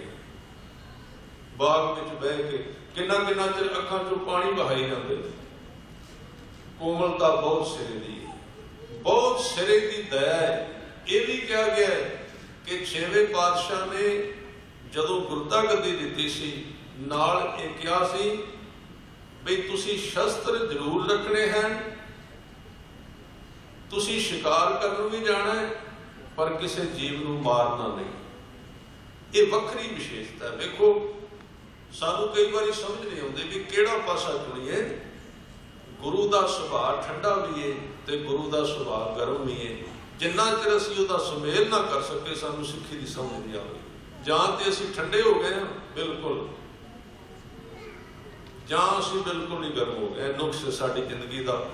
ਜਾਂ ਤੇ ਅਸੀਂ ਕਹਿੰਦੇ ਹਾਂ ਕਿ ਧਰਮ ਇਹ ਨਾਮ ਦੀ ਗੱਲ ਇਹ ਤਾਂ ਕਾਇਰਤਾ ਪੈਦਾ ਕਰਦੀ ਤੇ ਜਾਂ ਅਸੀਂ ਇਕੱਲੇ ਜੋਸ਼ ਵਿੱਚ ਜੀ ਰਹੇ ਹਾਂ, ਜੋ ਗੁਰੂ ਦਾ ਸਿਧਾਂਤ ਨਹੀਂ, ਗੁਰੂ ਦਾ ਸਿਧਾਂਤ ਤੇ ਜੋਸ਼ ਨੂੰ ਤੇ ਹੋਸ਼ ਨੂੰ ਇਕੱਠੇ ਕਰ ਦੇਣਾ ਇੱਕੋ ਥਾਂ ਤੇ ਲੈ ਗੁਰੂ ਹਰਿ ਸਾਹਿਬ ਜੀ ਦੇ ਜੀਵਨ ਵਿੱਚ ਹੋਸ਼ ਹੈ ਠੰਡ ਹੈ, ਟਿਕਾ ਹੈ ਕੋਮਲਤਾ ਹੈ ਤੇ ਇਤਿਹਾਸ ਕਹਿੰਦਾ ਸੱਚੇ ਪਾਤਸ਼ਾਹ ਜੀ ਨੇ 2200 ਘੋੜ ਸਵਾਰ, ਸਿੱਖ, ਸੂਰਮੇ ਆਪਣੀ ਅਰਦਲ ਵਿੱਚ ਰੱਖੇ। ਪਰ ਜਿਹੜਾ ਹੁਕਮ ਸੀ ਗੁਰੂ ਹਰਗੋਬਿੰਦ ਸਾਹਿਬ ਜੀ ਦਾ ਵੀ ਤੁਸੀਂ ਜੰਗ ਨਹੀਂ ਕਰਨੀ, ਤੁਸੀਂ ਸ਼ਿਕਾਰ ਵੀ ਜਾਣਾ ਤੇ ਜੀਵ ਨਹੀਂ ਕੋਈ ਮਾਰਨਾ। ਦੋਵਾਂ ਦਾ ਸੁਮੇਲ ਰੱਖਿਆ। ਸ਼ਿਕਾਰ ਵੀ ਚੜੇ ਨੇ, ਘੋੜੇ ਵੀ ਰੱਖੇ ਨੇ, ਤਲਵਾਰਾਂ ਵੀ ਰੱਖੀਆਂ ਨੇ। ਗੁਰੂ ਦਾ ਹੁਕਮ ਹੈ ਸ਼ਿਕਾਰ ਜਾਣਾ ਹੈ। ਦੇਖੋ ਕਿੰਨਾ ਕਠਿਨ ਹੁਕਮ ਨਹੀਂ ਤੇ ਬੰਦਾ ਕਹਿੰਦਾ ਜਾਂ ਤੇ ਸ਼ਿਕਾਰ ਜਾਣਾ ਕਹੋ ਤੇ ਜਾਂ ਕਹੋ ਵੀ ਜੀਵ ਮਾਰ ਜਾਂ ਰੋਕ ਦਿਓ, ਨਹੀਂ ਜਾਣਾ। ਇਹ ਤਾਂ ਸਿੱਖੀ ਦਾ ਰਾਜ ਹੈ। ਅਸੀਂ ਬੈਲੈਂਸ ਨਹੀਂ ਕਰ ਸਕਦੇ ਜੀਵਨ ਨੂੰ ਸਿੱਖੀ ਗੁਰੂ ਨੇ ਕਿਹਾ, ਸ਼ਿਕਾਰ ਜ਼ਰੂਰ ਜਾਣਾ ਤੁਸੀਂ, ਪਰ ਜੀਵ ਨਹੀਂ ਮਾਰਨਾ। ਤੇ ਜੇ ਉੱਥੇ ਬੁੱਧੀ ਵਾਲਾ ਬੰਦਾ ਕਹਿੰਦਾ ਹੈ ਵੀ ਇੱਕ ਕੰਮ ਕਰੋ, ਜਾਂ ਤੇ ਸ਼ਿਕਾਰ ਕਰਨ ਜਾਣਾ ਘੋੜੇ ਕੋਲ ਨੇ, ਤਲਵਾਰਾਂ ਜਾਂ ਤੇ ਅਗਲੇ ਨੂੰ ਮਾਰਨਾ ਤੇ ਜੇ ਨਹੀਂ ਮਾਰਨਾ, ਤਲਵਾਰ ਦੀ ਲੋੜ ਕੀ ਹੈ? ਦੋਵੇਂ ਕੰਮ ਇਕੱਠੇ ਕਰ ਦਿੰਦੇ। ਸ਼ਿਕਾਰ ਕਰਨ ਵੀ ਜਾਂਦੇ ਨੇ, ਪਰ ਸ਼ਿਕਾਰ ਨੂੰ ਮਾਰਦੇ ਨਹੀਂ, ਉਹਨੂੰ ਫੜ ਲੈਂਦੇ ਨੇ। ਸ਼ਿਕਾਰ ਨੂੰ ਫੜ ਕੇ ਲਿਆਉਂਦੇ, ਜਿਉਂਦੇ ਨੂੰ। ਜਿਉਂਦੇ ਨੂੰ ਫੜ ਕੇ ਲਿਆ ਕੇ ਇੱਕ ਬੜੀ ਵੱਡੀ ਰੱਖ ਬਣਾਈ। ਬੜੀ ਵੱਡੀ ਰੱਖ ਬਣਾਈ, ਉਹਦੇ ਵਿੱਚ ਲਿਆ ਕੇ ਛੱਡ ਦਿੰਦੇ ਨੇ। ਅਨੇਕਾਂ ਹੀ ਜੰਗਲੀ ਜਾਨਵਰ ਗੁਰੂ ਹਰਿ ਸਾਹਿਬ ਜੀ ਦੀ ਰੱਖ ਵਿੱਚ ਰਹਿੰਦੇ ਸਨ, ਕਿਉਂਕਿ ਗੁਰੂ ਨੇ ਹੁਕਮ ਕੀਤਾ ਸੀ ਤੁਸੀਂ ਸ਼ਿਕਾਰ ਕਰਨਾ ਹੈ, ਪਰ ਸ਼ਿਕਾਰ ਮਾਰਨਾ ਨਹੀਂ। ਹੁਕਮ ਖਵਾਇਆ। ਸਿੱਖੀ ਦੇ ਅਰਥ ਹੀ ਹੁਕਮ ਸਨ। ਆ ਜਿਹੜਾ ਅੱਜ ਦਾ ਸਾਡਾ ਮਾਈਂਡ ਬਣ ਗਿਆ, ਤੋਦਨ ਵਾਲਾ, ਸਚਾਈ ਤੇ ਇਹ ਸੀ, ਗੁਰੂ ਸਾਹਿਬ ਨੇ ਅਕਲ ਦੀ ਗੱਲ ਤਾਂ ਕੀਤੀ ਏ, ਬੁੱਧੀ ਦੀ ਗੱਲ ਤਾਂ ਕੀਤੀ ਏ। ਸੱਚੇ ਪਾਤਸ਼ਾਹ ਨੇ ਕਿਹਾ ਸੀ, ਬੁੱਧੀ ਨਾਲ ਤੂੰ ਆਪਣੇ ਆਪ ਨੂੰ ਤੋਲਣਾ ਕਿਤੇ ਗੁਰੂ ਨੂੰ ਨਾ ਤੋਲਣ ਤੋਂ ਨਹੀਂ। ਨਹੀਂ ਤੇ ਗਲਤੀ ਹੋ ਜਾਏ ਅਸੀਂ ਉਲਟ ਕਰ ਦਿੱਤਾ। ਅਸੀਂ ਸਾਰੀਆਂ ਚੀਜ਼ਾਂ ਨੂੰ ਪੁੱਠੇ ਲਾ ਦਿੱਤਾ, ਹਰ ਇੱਕ ਪੱਖ ਜਿਹੜੀ ਅੱਜ ਖੁਆਰੀ ਇਹਨੂੰ ਜਿਹਨੂੰ ਕਹਿੰਦੇ ਆ। ਇਹਦਾ ਇੱਕੋ ਹੀ ਕਾਰਨ ਹੈ, ਅਸੀਂ ਤਸਵੀਰ ਉਲਟੀ ਟੰਗ ਦਿੱਤੀ ਹੈ। ਗੁਰੂ ਸਾਹਿਬ ਨੇ ਕਿਹਾ ਸੀ, ਤੂੰ ਸ਼ੱਕ ਵੀ ਕਰ। ਇਹ ਨਹੀਂ ਕਿਹਾ ਵੀ ਤੂੰ ਉੱਲੂ ਬਣ ਜਾ, ਤੂੰ ਬੁੱਧੂ ਬਣ ਜਾ, ਅੱਖਾਂ ਬੰਦ ਕਰ ਲੈ। ਤੂੰ ਸ਼ੱਕ ਵੀ ਕਰ, ਤੂੰ ਸ਼ਰਧਾ ਵੀ ਕਰ। ਪਰ ਸ਼ੱਕ ਕਿਦੇ ਤੇ ਕਰਨਾ ਸੀ ਤੇ ਸ਼ਰਧਾ ਕਿਦੇ ਤੇ ਕਰਨੀ ਸੀ, ਇਹ ਨਹੀਂ ਪੁੱਛਿਆ। ਅਸੀਂ ਇਹ ਨਹੀਂ ਸਮਝਿਆ ਵੀ ਸ਼ੱਕ ਕਿਦੇ ਤੇ ਕਰਨਾ ਹੈ ਤੇ ਸ਼ਰਧਾ ਕਿਦੇ ਤੇ ਕਰਨੀ ਹੈ। ਸੱਚੇ ਪਾਤਸ਼ਾਹ ਨੇ ਕਿਹਾ ਸੀ, ਸ਼ੱਕ ਕਰੀ ਆਪਣੇ ਮਨ ਤੇ ਤੇ ਸ਼ਰਧਾ ਕਰੀ ਗੁਰੂ ਗ੍ਰੰਥ ਸਾਹਿਬ ਤੇ। ਅਸੀਂ ਕਿਹਾ, ਸ਼ੱਕ ਕਰਨਾ ਗੁਰੂ ਗ੍ਰੰਥ ਸਾਹਿਬ ਤੇ, ਸ਼ਰਧਾ ਕਰਨੀ ਮਨ ਤੇ। ਉਲਟ ਕਰ ਦਿੱਤਾ। ਤੇ ਜਦੋਂ ਉਲਟ ਕੀਤਾ, ਉਹਦੇ ਅਰਥ ਸਾਡੇ ਸਾਹਮਣੇ ਬਾਣੀ ਪੜੋ ਗੁਰੂ ਗ੍ਰੰਥ ਸਾਹਿਬ ਦੀ, ਉਹ ਕਹਿੰਦੇ, ਮਨ ਤੇ ਸ਼ੱਕ ਕਰ, ਮਨ ਕੁਟਹਰ, ਤੇਰਾ ਨਹੀਂ ਵਿਸ਼ਵਾਸ। ਤੇਰਾ ਕੋਈ ਵਿਸ਼ਵਾਸ ਨਹੀਂ। ਤੇ ਜਿਹਦਾ ਕੋਈ ਵਿਸ਼ਵਾਸ ਨਹੀਂ, ਜਦੋਂ ਸਿੱਖੀ ਕਮਾਉਣ ਦੀ ਗੱਲ ਆਉਂਦੀ, ਕਹਿੰਦੇ, ਮਨ ਨਾਲ ਸਲਾਹ ਕਰ ਲਈ ਉਹਦੀ ਸਲਾਹ ਜਿਹਦੀਆਂ ਅੱਖਾਂ ਹੀ ਨਹੀਂ। ਸੜਕ ਪਾਰ ਕਰਨੀ ਹੋਵੇ ਇੱਕ ਨੂੰ ਤੇ ਨਹੀਂ ਦਿਸਦਾ, ਜਿਹਦੀ ਬਾਹ ਫੜੀ ਉਹਨੂੰ ਵੀ ਨਹੀਂ ਦਿਸਦਾ। ਦੋਵੇਂ ਅੰਨੇ। ਮਨ ਵੀ ਅੰਨਾ ਤੇ ਆਪ ਵੀ ਅੰਨੇ। ਹਜੂਰ ਕਹਿੰਦੇ ਜੇ ਕਿਸੇ ਦੇ ਪਿੱਛੇ ਤੁਰਨੇ ਘੱਟੋ ਘੱਟ ਉਹਦੀਆਂ ਅੱਖਾਂ ਤੇ ਹੋਣ, ਗੁਰੂ ਦੇ ਪਿੱਛੇ ਤੁਰ।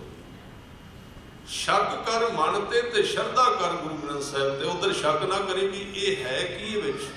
ਅੱਜ ਅੱਜ ਕੱਲ ਸ਼ੱਕ ਚੱਲਦੇ ਨਾ ਪਿਆ, ਗੁਰੂ ਗ੍ਰੰਥ ਸਾਹਿਬ ਜੀ ਦੇ ਸਰੂਪ ਤੇ ਕਿੰਨੇ ਲੋਕ ਨੇ। ਹੈਰਾਨੀ ਦੀ ਗੱਲ ਹੈ ਕਿਸੇ ਨੂੰ ਚਿੰਤਾ ਹੀ ਕੋਈ ਨਹੀਂ ਵੀ ਜਿਹੜੇ ਗੁਰੂ ਨੂੰ ਮੱਥਾ ਟੇਕੀ ਜਾਂਦੇ ਉਹਦੇ ਕਈ, ਉਹਨੂੰ ਅਸੀਂ ਮੰਨਦੇ ਨਹੀਂ ਵੀ ਇਹ ਪੂਰਾ ਗੁਰੂ ਇੱਥੇ ਹੈ। ਇਹ ਸਮਝ ਨਹੀਂ ਆ ਰਹੀ ਨਾਲੇ ਤੇ ਨੱਕ ਰਗੜੀ ਜਾਂਦੇ ਆ, ਨਾਲੇ ਕਹਿੰਦੇ ਆ, ਬਾਣੀ ਹੈ ਨਹੀਂ ਵਿੱਚ। ਇਹ ਮੱਥਾ ਟੇਕਣਾ ਕੀ ਹੈ? ਇਹਦੇ ਕੀ ਅਰਥ ਨਿਕਲ ਸਕਦੇ ਦੋ ਵਿੱਚੋਂ ਇੱਕ ਹੀ ਕੰਮ ਹੋ ਸਕਦਾ, ਜੇ ਮੈਂ ਨਹੀਂ ਮੰਨਦਾ ਤੇ ਮੱਥਾ ਵੀ ਨਹੀਂ ਟੇਕਦਾ, ਜੇ ਮੱਥਾ ਟੇਕਣਾ ਤੇ ਮੰਨਣਾ, ਇਹ ਪਖੰਡ ਨਹੀਂ ਤੇ ਹੋਰ ਕੀ ਹੈ। ਇਹਦੇ ਅਰਥ ਪਖੰਡ ਨੇ ਕਿ ਮੈਂ ਮੰਨਦਾ ਵੀ ਨਹੀਂ, ਮੈਂ ਮੱਥਾ ਵੀ ਟੇਕਣਾ। ਅਪਰਾਧੀ ਦੂਣਾ ਨਿਵੈ, ਜੋ ਹੰਤਾ ਮਿਰਗਾ ਸ਼ੀਸ਼ ਨੇ ਵਾਇਆ ਕਿਆ ਥੀ ਹੈ? ਜਾਰੀ ਦਾ ਇੱਕ ਸੁੱਤੇ ਜਾਏ ਗੁਰੂ ਸਾਹਿਬ ਦੇ ਸਰੂਪ ਤੇ ਸ਼ੰਕਾ ਕਰਨਾ। ਇਹ ਸਾਡੀ ਆਪਣੀ ਸਿੱਖੀ ਹੋ ਸਕਦੀ ਹੈ 10 ਪਾਤਸ਼ਾਹਾਂ ਦੀ ਸਿੱਖੀ ਨਹੀਂ। ਇਸ ਕਰਕੇ ਅਸੀਂ ਉਲਟ ਲਾ ਦਿੱਤਾ। ਅਸੀਂ ਧਰਮ ਤੇ ਰਾਜਨੀਤੀ ਨੂੰ ਵੀ ਉਲਟ ਕਰਕੇ ਰੱਖ ਦਿੱਤਾ। ਰਾਜਨੀਤੀ ਗੁਰੂ ਸਾਹਿਬ ਨੇ ਬਣਾਈ ਸੀ ਵੀ ਰਾਜਨੀਤੀ ਸਿੱਖ ਦੇ ਦਰਵਾਜ਼ੇ ਤੇ ਰਵੇ ਬਾਹਰ। ਉਹ ਕੰਮ ਕਰਨੀ ਸੀ, ਪਹਿਰੇਦਾਰ ਸੀ। ਉਹ ਬਾਹਰ ਰੱਖਣੀ ਸੀ। ਤੇ ਧਰਮ ਰਹਿਣਾ ਸੀ ਸਿੰਘਾਸਨ ਤੇ। ਸਾਡੀਆਂ ਅੱਖਾਂ ਦੇ ਸਾਹਮਣੇ ਰਾਜਨੀਤੀ ਸਿੰਘਾਸਨ ਤੇ ਬਹਿ ਗਈ ਏ ਤੇ ਧਰਮ ਉਹਦੇ ਪੈਰਾਂ 'ਤੇ ਜਾ ਕੇ ਰੋਜ਼ ਖੜਾ ਹੈ। ਤੇ ਅਸੀਂ ਸਭ ਕੁਝ ਜਾਣਦੇ ਹੋਏ ਵੀ ਇਸ ਗੱਲ ਨੂੰ ਪ੍ਰਵਾਨ ਕਰ ਲਿਆ, ਪੂਰੀ ਤਰ੍ਹਾਂ ਕਰ ਲਿਆ। ਸਚਾਈ ਨਾਲ ਇਹ ਮਤ ਸਮਝਣਾ ਵੀ ਉਹ ਲੋਕ ਇਹ ਕਰ ਰਹੇ ਨੇ। ਅਸੀਂ ਉਹਨਾਂ ਨੂੰ ਹਮਾਇਤ ਵੀ ਦੇ ਰਹੇ ਹਾਂ ਵੀ ਕਰੋ। ਤੋੜੋ ਸਿਧਾਂਤ, ਤੁਸੀਂ ਸ੍ਰੀ ਅਕਾਲ ਤਖਤ ਸਾਹਿਬ ਦਾ ਰੱਜ ਕੇ ਤੋੜੋ। ਅਸੀਂ ਫਿਰ ਤੁਹਾਨੂੰ ਸਪੋਰਟ ਦੇਵਾਂਗੇ ਅਸੀਂ ਰੱਜ ਕੇ ਉਹਨਾਂ ਦੀ ਸਪੋਰਟ ਕਰ ਰਹੇ ਹਾਂ। ਇਹਦੇ ਵਿੱਚ ਉਹ ਕਦੇ ਦੋਸ਼ੀ ਨਹੀਂ, ਦੋਸ਼ੀ ਅਸੀਂ ਨਹੀਂ। ਕਿਉਂਕਿ ਜਦੋਂ ਵੀ ਕੋਈ ਬੰਦਾ ਗਲਤ ਚੱਲਦਾ ਹੈ, ਜਦੋਂ ਉਹਨੂੰ ਸਪੋਰਟ ਹੁੰਦੀ ਹੈ, ਉਹਦੀ ਗਲਤੀ ਵਿੱਚ ਹੋਰ ਵਾਧਾ ਹੋ ਜਾਂਦਾ ਅਸੀਂ ਉਹਨਾਂ ਨੂੰ ਸਪੋਰਟ ਕਰ ਕਰਕੇ, ਅਸੀਂ ਉਹਨਾਂ ਲੋਕਾਂ ਨੂੰ ਸਪੋਰਟ ਕਰ ਕਰਕੇ ਮੈਂ ਪਿੱਛੇ ਵੀ ਬੇਨਤੀ ਕੀਤੀ ਸੀ ਭਾਈ ਮਾਨ ਸਿੰਘ ਹੋਰੀ ਗੁਰੂ ਸਾਹਿਬ ਨੂੰ ਛੱਡ ਕੇ ਗਏ ਸਨ। ਲਿਖ ਕੇ ਦੇ ਗਏ ਸਨ ਵੀ ਤੂੰ ਸਾਡਾ ਗੁਰੂ ਨਹੀਂ, ਅਸੀਂ ਤੇਰਾ ਸਿੱਖ ਨਹੀਂ। ਨਿਕਲੇ ਸਨ ਨਾ ਬਾਬਾ ਕਲੀਆਂ ਕਰਕੇ, ਇਤਿਹਾਸ ਪੜ੍ਹਦੇ ਤੁਸੀਂ। ਘਰ ਗਏ। ਘਰੋਂ ਸਪੋਰਟ ਨਹੀਂ ਮਿਲੀ। ਘਰ ਵਾਲਿਆਂ ਨੇ ਕਿਹਾ, ਨਹੀਂ, ਤੁਸੀਂ ਗੁਰੂ ਨੂੰ ਛੱਡ ਕੇ ਆਇਓ, ਗੁਰੂ ਤੋਂ ਬੇਮੁਖ ਹੋ ਕੇ ਆਇਓ ਬਾਵਾ ਕਲੀਆਂ ਕਰਕੇ ਆਇਓ। ਤੁਸੀਂ ਇੱਥੇ ਪ੍ਰਸ਼ਾਦਾ ਪਕਾਓ, ਅਸੀਂ ਜਾਂਦੇ ਹਾਂ। ਹਮਾਇਤ ਨਹੀਂ ਕੀਤੀ। ਇਸ ਕਰਕੇ ਫਿਰ ਗੁਰੂ ਸਾਹਿਬ ਦੇ ਕੋਲ ਵਾਪਸ ਆ ਗਏ। ਪਰ ਅਸੀਂ ਬਾਵਾ ਕਲੀਆਂ ਕਰਨ ਵਾਲਿਆਂ ਨੂੰ ਅਵਾਰਡ ਦਿੱਤੇ ਇਸੇ ਦੀ ਹੋਈ। ਜਿਨ੍ਹਾਂ ਨੇ ਬਾਹਾਂ ਖੜੀਆਂ ਕੀਤੀਆਂ, ਅਸੀਂ ਉਹਨਾਂ ਦਾ ਸਤਿਕਾਰ ਕੀਤਾ ਹੈ। ਤੇ ਕਿਸੇ ਇੱਕ ਨੇ ਨਹੀਂ ਕੀਤਾ, ਦੋ ਨੇ ਨਹੀਂ ਕੀਤਾ 95% ਲੋਕਾਂ ਨੇ ਕੀਤਾ। ਤੇ ਕੀ ਗੁਰੂ ਸਾਹਿਬ ਜਾਣਦੇ ਨਹੀਂ ਸਭ ਵੇਖਦੇ ਸਤ ਸੁਣਦਾ ਸਭ ਵੇਖਦਾ ਸ਼ਬਦ ਰਹਾ ਭਰਪੂਰ। ਤੇ ਉਸ ਗੁਰੂ ਨੇ ਕਿਹਾ ਸੀ ਜਬ ਇਹ ਕਹੇ ਵਿਪਰਨ ਕੀ ਰੀਤ, ਮੈਂ ਨਾ ਕਰੂੰ ਇਨ ਕੀ ਪ੍ਰਤੀ ਤੇ ਸਭ ਕੁਝ ਦਾਨ ਹੋ ਰਿਹਾ ਜਦੋਂ ਸਾਨੂੰ ਪਤਾ ਹੈ ਕਿ ਜਿਹੜੇ ਲੋਕਾਂ ਨੇ ਬੜੀਆਂ ਬੜੀਆਂ ਵੱਡੀਆਂ ਅਰਦਾਸਾਂ ਕੀਤੀਆਂ ਸਨ 1978 ਵਿੱਚ, ਉਹ ਸਾਰੀਆਂ ਅਰਦਾਸਾਂ ਛਿੱਕੇ ਤੇ ਟੰਗ ਦਿੱਤੀਆਂ। ਅੱਜ ਸਭ ਕੁਝ ਬੋਝ ਕੇ ਰੱਖ ਦਿੱਤਾ। ਇਹ ਕਾਰਨ ਹੈ ਕਿ ਜਦੋਂ ਵੀ ਝੂਠ ਦੀ ਹਮਾਇਤ ਹੁੰਦੀ ਹੈ, ਸੰਸਾਰ ਤੇ ਉਦੋਂ ਝੂਠ ਵੱਧਦਾ ਹੈ। ਉਹ ਲੋਕ ਬੜੇ ਹਿੰਮਤ ਵਾਲੇ ਹੋਣਗੇ, ਮਲੇਰਕੋਟਲੇ ਦਾ ਨਵਾਬ ਸ਼ੇਰ ਖਾਨ, ਜਿਨੇ ਉਸ ਲੋਕਾਂ ਦੇ ਵਿੱਚ ਹੁੰਦਿਆਂ ਵੀ ਇਹ ਕਹਿ ਦਿੱਤਾ, ਵਜੀਦ ਖਾਨ ਦਾ ਸਾਥੀ ਸੀ, ਉਹਨੂੰ ਕਹਿ ਦਿੱਤਾ, ਨਹੀਂ, ਇਹ ਬੱਚਿਆਂ ਨੂੰ ਮਾਰਨਾ ਇਸਲਾਮ ਇਜਾਜ਼ਤ ਨਹੀਂ ਦਿੰਦਾ। ਮੈਂ ਇਹਦਾ ਵਾਕਆਊਟ ਕਰਨਾ, ਮੈਂ ਤੁਹਾਡੇ ਨਾਲ ਸਹਿਮਤ ਹਾਂ। ਬਹੁਤ ਕੀਮਤ ਵਾਲਾ ਬੰਦਾ ਸੀ। ਤੇ ਸਤਿਗੁਰੂ ਨੇ ਕਿਹਾ, ਸਾਰੇ ਦੇਸ਼ ਵਿੱਚ ਭਾਵੇਂ ਕੁਝ ਹੋ ਜਾਏ, ਪਰ ਮਲੇਰਕੋਟ ਦੇ ਵਿੱਚ ਕਿਸੇ ਦਾ ਨੁਕਸਾਨ ਨਹੀਂ ਹੋਏਗਾ। ਅੱਜ ਤੱਕ ਗੁਰੂ ਦੀ ਬਖਸ਼ਿਸ਼ ਹੋਈ। ਜਿਨਨੇ ਗੁਰੂ ਦੇ ਸਿਧਾਂਤ ਦੇ ਅਨੁਸਾਰ ਹਾਂ ਦਾ ਨਾਰਾ ਮਾਰਿਆ, ਗੁਰੂ ਨੇ ਕਿਹਾ, ਦੇਸ਼ ਬਦਲ ਜਾਏਗਾ, ਪਰ ਇਹਨਾਂ ਦੀ ਬਾਬਰ ਨਹੀਂ ਕੋਈ ਵੇਖੇਗਾ। ਤੇ ਜਦੋਂ ਅਸੀਂ ਗੁਰੂ ਕੇ ਸਿਧਾਂਤ ਨੂੰ ਛੱਡ ਦਿੱਤਾ, ਸਤਿਗੁਰੂ ਨੇ ਕਿਹਾ, ਮੈਂ ਨਾ ਕਰੂੰ, ਇਹਨੂੰ ਕੀ ਵਰਤੀ ਇਹ ਸਿਧਾਂਤ ਇਹ ਚੀਜ਼ ਗੁਰੂ ਹਰਿ ਸਾਹਿਬ ਜੀ ਨੇ ਵਰਤੀ। ਜਦੋਂ ਦਇਆ ਦੇ ਘਰ ਵਿੱਚ ਆਏ ਤੇ ਦਇਆ ਬਹੁਤ ਡੂੰਗੀ ਹੁਕਮ ਮੰਨਣ ਦੇ ਘਰ ਵਿੱਚ ਆਏ ਤੇ ਹੁਕਮ ਸਿਰੇ ਲਾ ਦਿੱਤਾ, ਗੁਰੂ ਹਰਗੋਬਿੰਦ ਸਾਹਿਬ ਨੇ ਕਿਹਾ, ਜਦੋਂ ਚੋਲੇ ਨਾਲ ਅੜ ਕੇ ਖੁੱਲ ਡਿੱਗ ਪਿਆ ਅੱਖਾਂ ਵਿੱਚੋਂ ਪਾਣੀ ਆਇਆ ਤੇ ਦਾਦੇ ਨੇ ਕਿਹਾ, ਗੁਰੂ ਹਰਗੋਬਿੰਦ ਸਾਹਿਬ ਨੇ ਕਿਹਾ, ਕਹਿਣ ਲੱਗੇ, ਜੇ ਚੋਲਾ ਵੱਡਾ ਭਾਈ ਦਾ ਨਾ ਤੇ ਸਮੇਟ ਕੇ ਤੁਰੀਦਾ ਇੱਕ ਵਾਰੀ ਕਿਹਾ, ਚੋਲਾ ਹੱਥ ਵਿੱਚ ਫੜ ਲਿਆ ਇਤਿਹਾਸ ਕਹਿੰਦਾ ਸਾਰੀ ਉਮਰ ਚੋਲਾ ਫੜ ਕੇ ਤੁਰੇ ਸਤਿਗੁਰੂ ਨੇ ਇੱਕ ਵਾਰੀ ਕਿਹਾ, ਗੁਰੂ ਵੀ ਬਣ ਗਏ ਹੁਕਮ ਵਿੱਚ ਤੁਰੇ। ਜਿਹੜੀਆਂ ਚੀਜ਼ਾਂ ਸਾਨੂੰ ਗੁਰੂ ਸਾਹਿਬ ਨੇ ਦਿੱਤੀਆਂ ਸਨ, ਵਿਸ਼ਵਾਸ ਤੇ ਬੇਵਿਸ਼ਵਾਸੀ ਧਿਆਨ ਦੇਣਾ ਮੈਂ ਉਸ ਵਿਸ਼ੇ ਤੇ ਵਾਪਸ ਮੁੜ ਕੇ, ਦੋਵੇਂ ਚੀਜ਼ਾਂ ਸਨ, ਵਿਸ਼ਵਾਸ ਵੀ ਮਨੁੱਖੀ ਮਨ ਦੀਆਂ ਦੋਵੇਂ ਹੀ ਉਪਜਾਂ ਨੇ, ਇਹ ਨਹੀਂ ਕਿਹਾ ਜਾ ਸਕਦਾ ਕਿ ਬੰਦੇ ਕੋਲ ਕੱਲਾ ਵਿਸ਼ਵਾਸ ਹੀ ਰਹੇਗਾ। ਨਹੀਂ, ਉਹਦੇ ਕੋਲ ਬੇਵਿਸ਼ਵਾਸੀ ਹੋਏਗੀ, ਹੋਣੀ ਚਾਹੀਦੀ, ਵਿਰੋਧੀ ਹੋਵੇ ਪਰ ਮੈਂ ਬੇਨਤੀ ਕਰ ਰਿਹਾ ਸੀ, ਬੇਵਿਸ਼ਵਾਸੀ ਨੂੰ ਅਸੀਂ ਗੁਰੂ ਸਾਹਿਬ ਤੇ ਲਾਗੂ ਕਰ ਦਿੱਤਾ। ਧਰਮ ਤੇ ਲਾਗੂ ਕਰ ਦਿੱਤਾ, ਬੇਵਿਸ਼ਵਾਸੀ ਕਰਨੀ ਸੀ, ਮਨ ਤੇ ਵਿਸ਼ਵਾਸ ਕਰਨਾ ਸੀ, ਗੁਰੂ ਗ੍ਰੰਥ ਸਾਹਿਬ ਪਾਤਸ਼ਾਹ ਤੇ ਅਸੀਂ ਉਲਟ ਕਰ ਦਿੱਤਾ ਚੀਜ਼ਾਂ, ਪੁੱਠੇ ਕਰ ਦਿੱਤਾ। ਤੇ ਜਦੋਂ ਚੀਜ਼ਾਂ ਉਲਟ ਜਾਂਦੀਆਂ ਨੇ, ਉਦੋਂ ਜੀਵਨ ਵੀ ਹੋਰ ਤਰ੍ਹਾਂ ਦਿਸਣ ਲੱਗ ਪੈਂਦਾ ਜਦੋਂ ਜੀਵਨ ਪਲਟ ਜਾਂਦਾ ਹੈ, ਆਇਣ ਦੇ ਸ਼ੀਸ਼ੇ ਤੁਸੀਂ ਬਦਲਦੇ ਹੋ, ਉਧਰ ਲਾ ਉਧਰ ਲਾ ਦਿਓ, ਉਧਰ ਲਾ, ਉਧਰ, ਵੇਖਣ ਵਿੱਚ ਫ਼ਰਕ ਪੈ ਜਾਏਗਾ ਗੁਰੂ ਅਰਜਨ ਸਾਹਿਬ ਪਾਤਸ਼ਾਹ ਦੇ ਜੀਵਨ ਤੇ ਮੈਂ ਦੋ ਅੰਗ ਕਹਿ ਰਿਹਾ ਸੀ। ਸਮਾਪਤੀ ਦੇ ਨੇੜੇ ਹੋਵਾਂ। ਸੱਚੇ ਪਾਤਸ਼ਾਹ ਜੀ ਦੇ ਜੀਵਨ ਦਾ ਇੱਕ ਅੰਗ ਮੈਂ ਕਿਹਾ ਨਿਮਰਤਾ, ਦਇਆ, ਪ੍ਰੇਮ। ਤੇ ਪਵਿੱਤਰਤਾ। ਵਸਤਰ ਸਾਫ਼ ਰੱਖਣੇ, ਸਫ਼ਾਈ ਰੱਖਣੀ, ਇਹ ਉਹਨਾਂ ਦੇ ਜੀਵਨ ਦਾ ਇੱਕ ਅੰਗ ਸੀ। ਸਾਨੂੰ ਉਹਨਾਂ ਨੇ ਦਿੱਤਾ ਵੀ ਗੁਰੂ ਕੇ ਸਿੱਖਾ ਤੂੰ ਸਰੀਰਕ ਤੌਰ ਤੇ ਸ਼ੁੱਧ ਰਹਿਣਾ ਸਾਫ਼। ਪੁਰਾਣੀ ਰਵਾਇਤ ਹੈ ਵੀ ਉਹ 100 ਘੜੇ ਦੇ ਨਾਲ ਇਸ਼ਨਾਨ ਕਰਦੇ ਸਨ ਤੇ 100 ਕਲੀਆਂ ਵਾਲਾ ਚੋਲਾ ਪਾਉਂਦੇ ਸੀ। ਚੋਲਾ ਤਾਂ ਤੁਸੀਂ ਵੇਖਿਆ ਵੀ 100 ਘੜੇ ਦਾ ਮਤਲਬ ਇਹ ਨਹੀਂ ਸੀ ਵੀ 100 ਘੜਾ ਜ਼ਰੂਰੀ ਹੋਵੇ। 100 ਘੜੇ ਦਾ ਮਤਲਬ ਹੁੰਦਾ ਵੀ 100% ਇਸ਼ਨਾਨ, ਚੰਗੀ ਤਰ੍ਹਾਂ। ਆ ਇਸ਼ਨਾਨ ਦੇ ਵੀ ਸਿਰ ਤੇ ਵਗਾਇਆ ਗਲਾਸ ਪਾਣੀ ਦਾ ਤੇ ਪੈਰਾਂ ਤੇ ਡੁੱਲ ਕੇ ਚਲੋ ਜੀ, ਸਿੱਖ ਦਾ ਇਸ਼ਨਾਨ ਹੋ ਗਿਆ। ਇਹ ਨਹੀਂ ਸੀ ਉਹਨਾਂ ਦਾ ਇਸ਼ਨਾਨ। ਇਸ਼ਨਾਨ ਸ਼ੁੱਧਤਾ ਸੀ ਉਹਨਾਂ ਦੇ ਜੀਵਨ ਵਿੱਚ।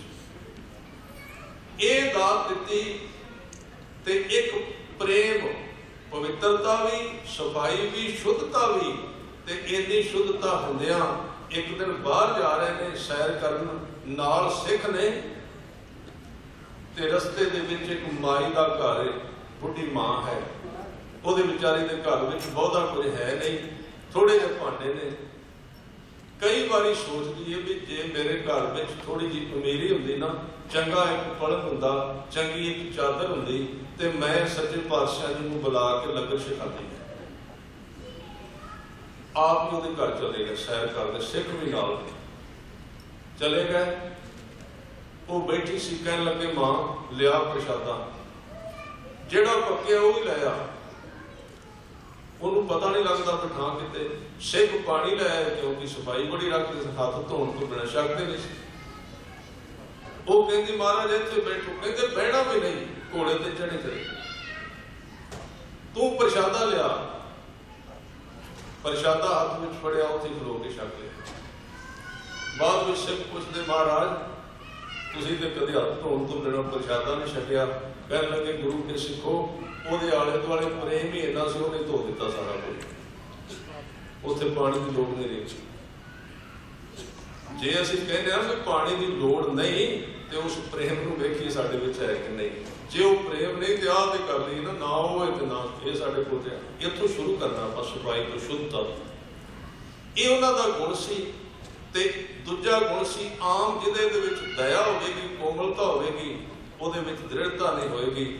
ਪਰ ਸਤਵੇਂ ਪਾਤਸ਼ਾਹ ਦੇ ਵਿੱਚ ਇਰਾਦਾ ਇੰਨਾ ਸਖਤ ਹੈ ਦ੍ਰਿੜਤਾ ਇੰਨੀ ਸਖਤ ਹੈ ਕਿ ਜੇ ਆਪਣੇ ਪੁੱਤਰ ਨੂੰ ਰਾਮ ਰਾਏ ਜੀ ਨੂੰ ਭੇਜਦੇ ਨੇ ਦਿੱਲੀ, ਔਰੰਗਜ਼ੇਬ ਦੇ ਕੋਲ, ਤੇ ਉਹ ਆ ਗਿਆ। ਉਹਨੇ ਕਿਹਾ ਕਿ ਮਹਾਰਾਜ, ਜਿੱਥੇ ਤੁਸੀਂ ਭੇਜਣ ਲੱਗੇ ਉਹ ਬੜਾ ਸਖਤ ਬੰਦਾ ਹੈ, ਔਰੰਗਜ਼ੇਬ।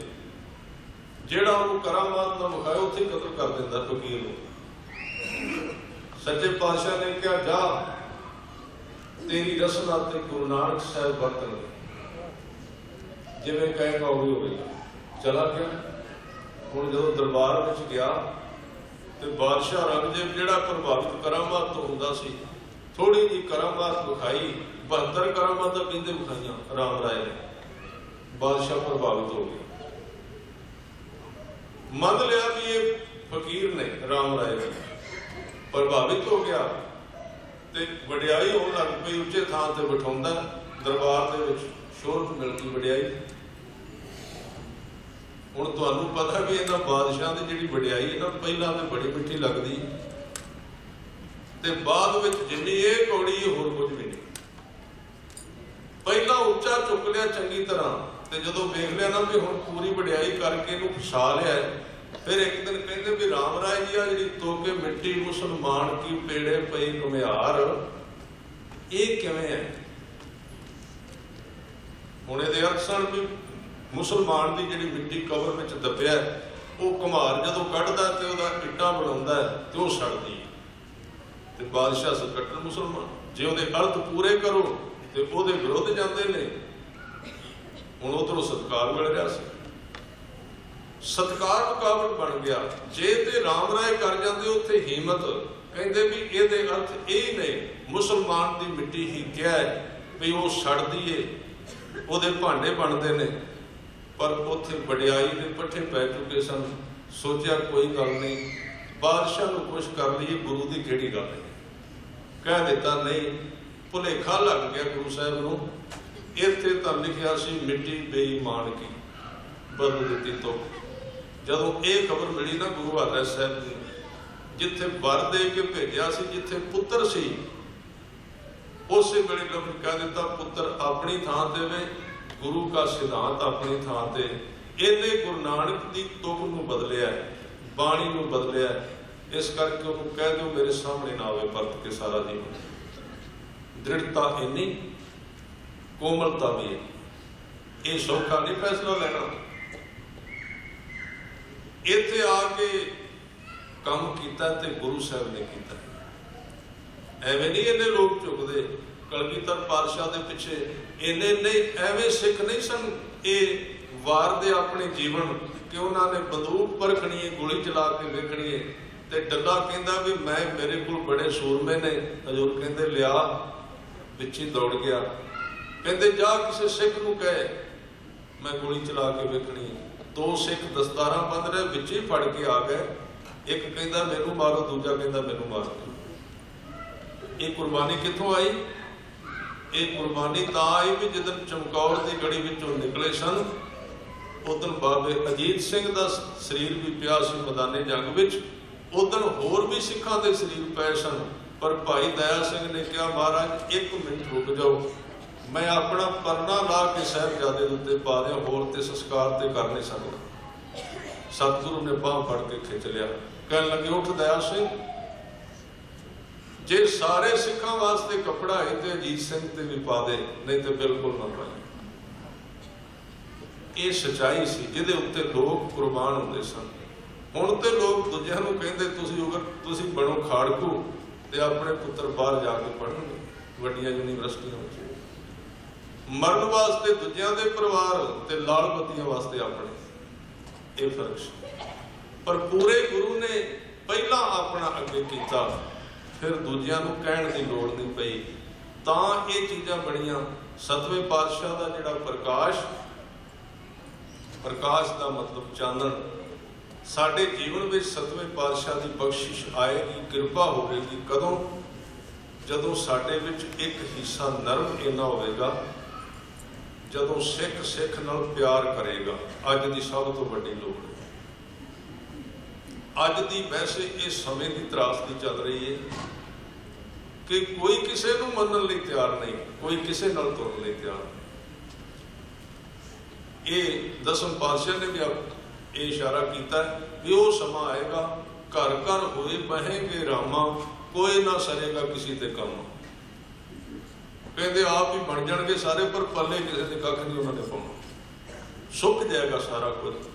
ਇਸ ਕਰਕੇ ਸੱਚੇ ਪਾਤਸ਼ਾਹ ਜੀ ਦੇ ਸਿਧਾਂਤ ਨੇ, ਇੱਕ ਪਾਸੇ ਰੱਬ ਦਾ ਪਿਆਰ ਤੇ ਨਿਮਰਤਾ, ਦਇਆ, ਇਹ ਸਿੱਖ ਦਾ ਇੱਕ ਅੰਗ ਗੁਰੂ ਹਰਿ ਸਾਹਿਬ ਜੀ ਤੋਂ ਮਿਲਦਾ ਹੈ। ਤੇ ਦੂਜਾ ਹਿੱਸਾ ਕੋਲ ਘੋੜਸਵਾਰ ਰੱਖਣੇ, ਹਥਿਆਰ ਹੋਣੇ, ਪਰ ਵਰਤੋਂ ਨਹੀਂ ਕਰਨੀ, ਤਾਕਤ ਦੀ। ਪਰ ਦ੍ਰਿੜਤਾ ਜ਼ਰੂਰ ਰੱਖਣੀ। ਜੇ ਸਮਾਂ ਆਉਣਾ ਤੇ ਫੈਸਲਾ ਲੈਣ ਲੱਗਿਆਂ ਦੇਰ ਨਹੀਂ ਲਾਣਾ। ਭਾਵੇਂ ਆਪਣਾ ਪੁੱਤਰ ਹੈ ਭਾਵੇਂ ਕੋਈ ਹੋਰ ਨਜ਼ਦੀਕੀ ਸਿੱਖ ਹੈ ਜਿਹੜਾ ਗੁਰੂ ਕੇ ਸਿਧਾਂਤ ਤੋਂ ਬਾਹਰ ਗਿਆ, ਉਹਨੂੰ ਇਨਕਾਰ ਕਰਨ ਲੱਗਿਆਂ ਦੇਰ ਨਹੀਂ ਲਾਈ। ਇਹ ਪੂਰੇ ਗੁਰੂ ਗੁਰੂ ਹਰਿ ਸਾਹਿਬ ਜੀ ਦੀ ਕਿਰਪਾ ਹੈ। ਸੱਚੇ ਪਾਤਸ਼ਾਹ ਦੀ ਰਹਿਮਤ ਕਰਨ ਜੋ ਕੁਝ ਉਹਨਾਂ ਨੇ ਆਪਣੇ ਜੀਵਨ ਵਿੱਚ ਕਮਾਇਆ ਉਹ ਬਖਸ਼ਾਂ ਸਾਡੇ ਤੇ ਹੋਣ। ਸਤਿਗੁਰੂ ਸੱਚੇ ਪਾਤਸ਼ਾਹ ਜੀ ਦੇ ਚਰਨਾਂ ਵਿੱਚ ਅਰਦਾਸ ਕਰੀਏ। ਸੋ ਸਮੂਹ ਸੰਗਤ ਦਾ ਸਾਰੇ ਗੁਰੂ ਕੇ ਪਿਆਰਿਆਂ ਦਾ ਇਸ ਸਥਾਨ ਤੇ ਗੁਰੂ ਕੇ ਕੀਰਤਨੀਏ ਸਾਰਿਆਂ ਦਾ ਧੰਨਵਾਦ। ਭੁੱਲਾਂ ਚੁੱਕਾਂ ਦੀ ਖਿਮਾ ਕਰਨੀ ਜੀ। ਫਤਿਹ ਦੀ ਸਾਂਝ ਕਰੋ। ਵਾਹਿਗੁਰੂ ਜੀ ਕਾ ਖਾਲਸਾ। ਵਾਹਿਗੁਰੂ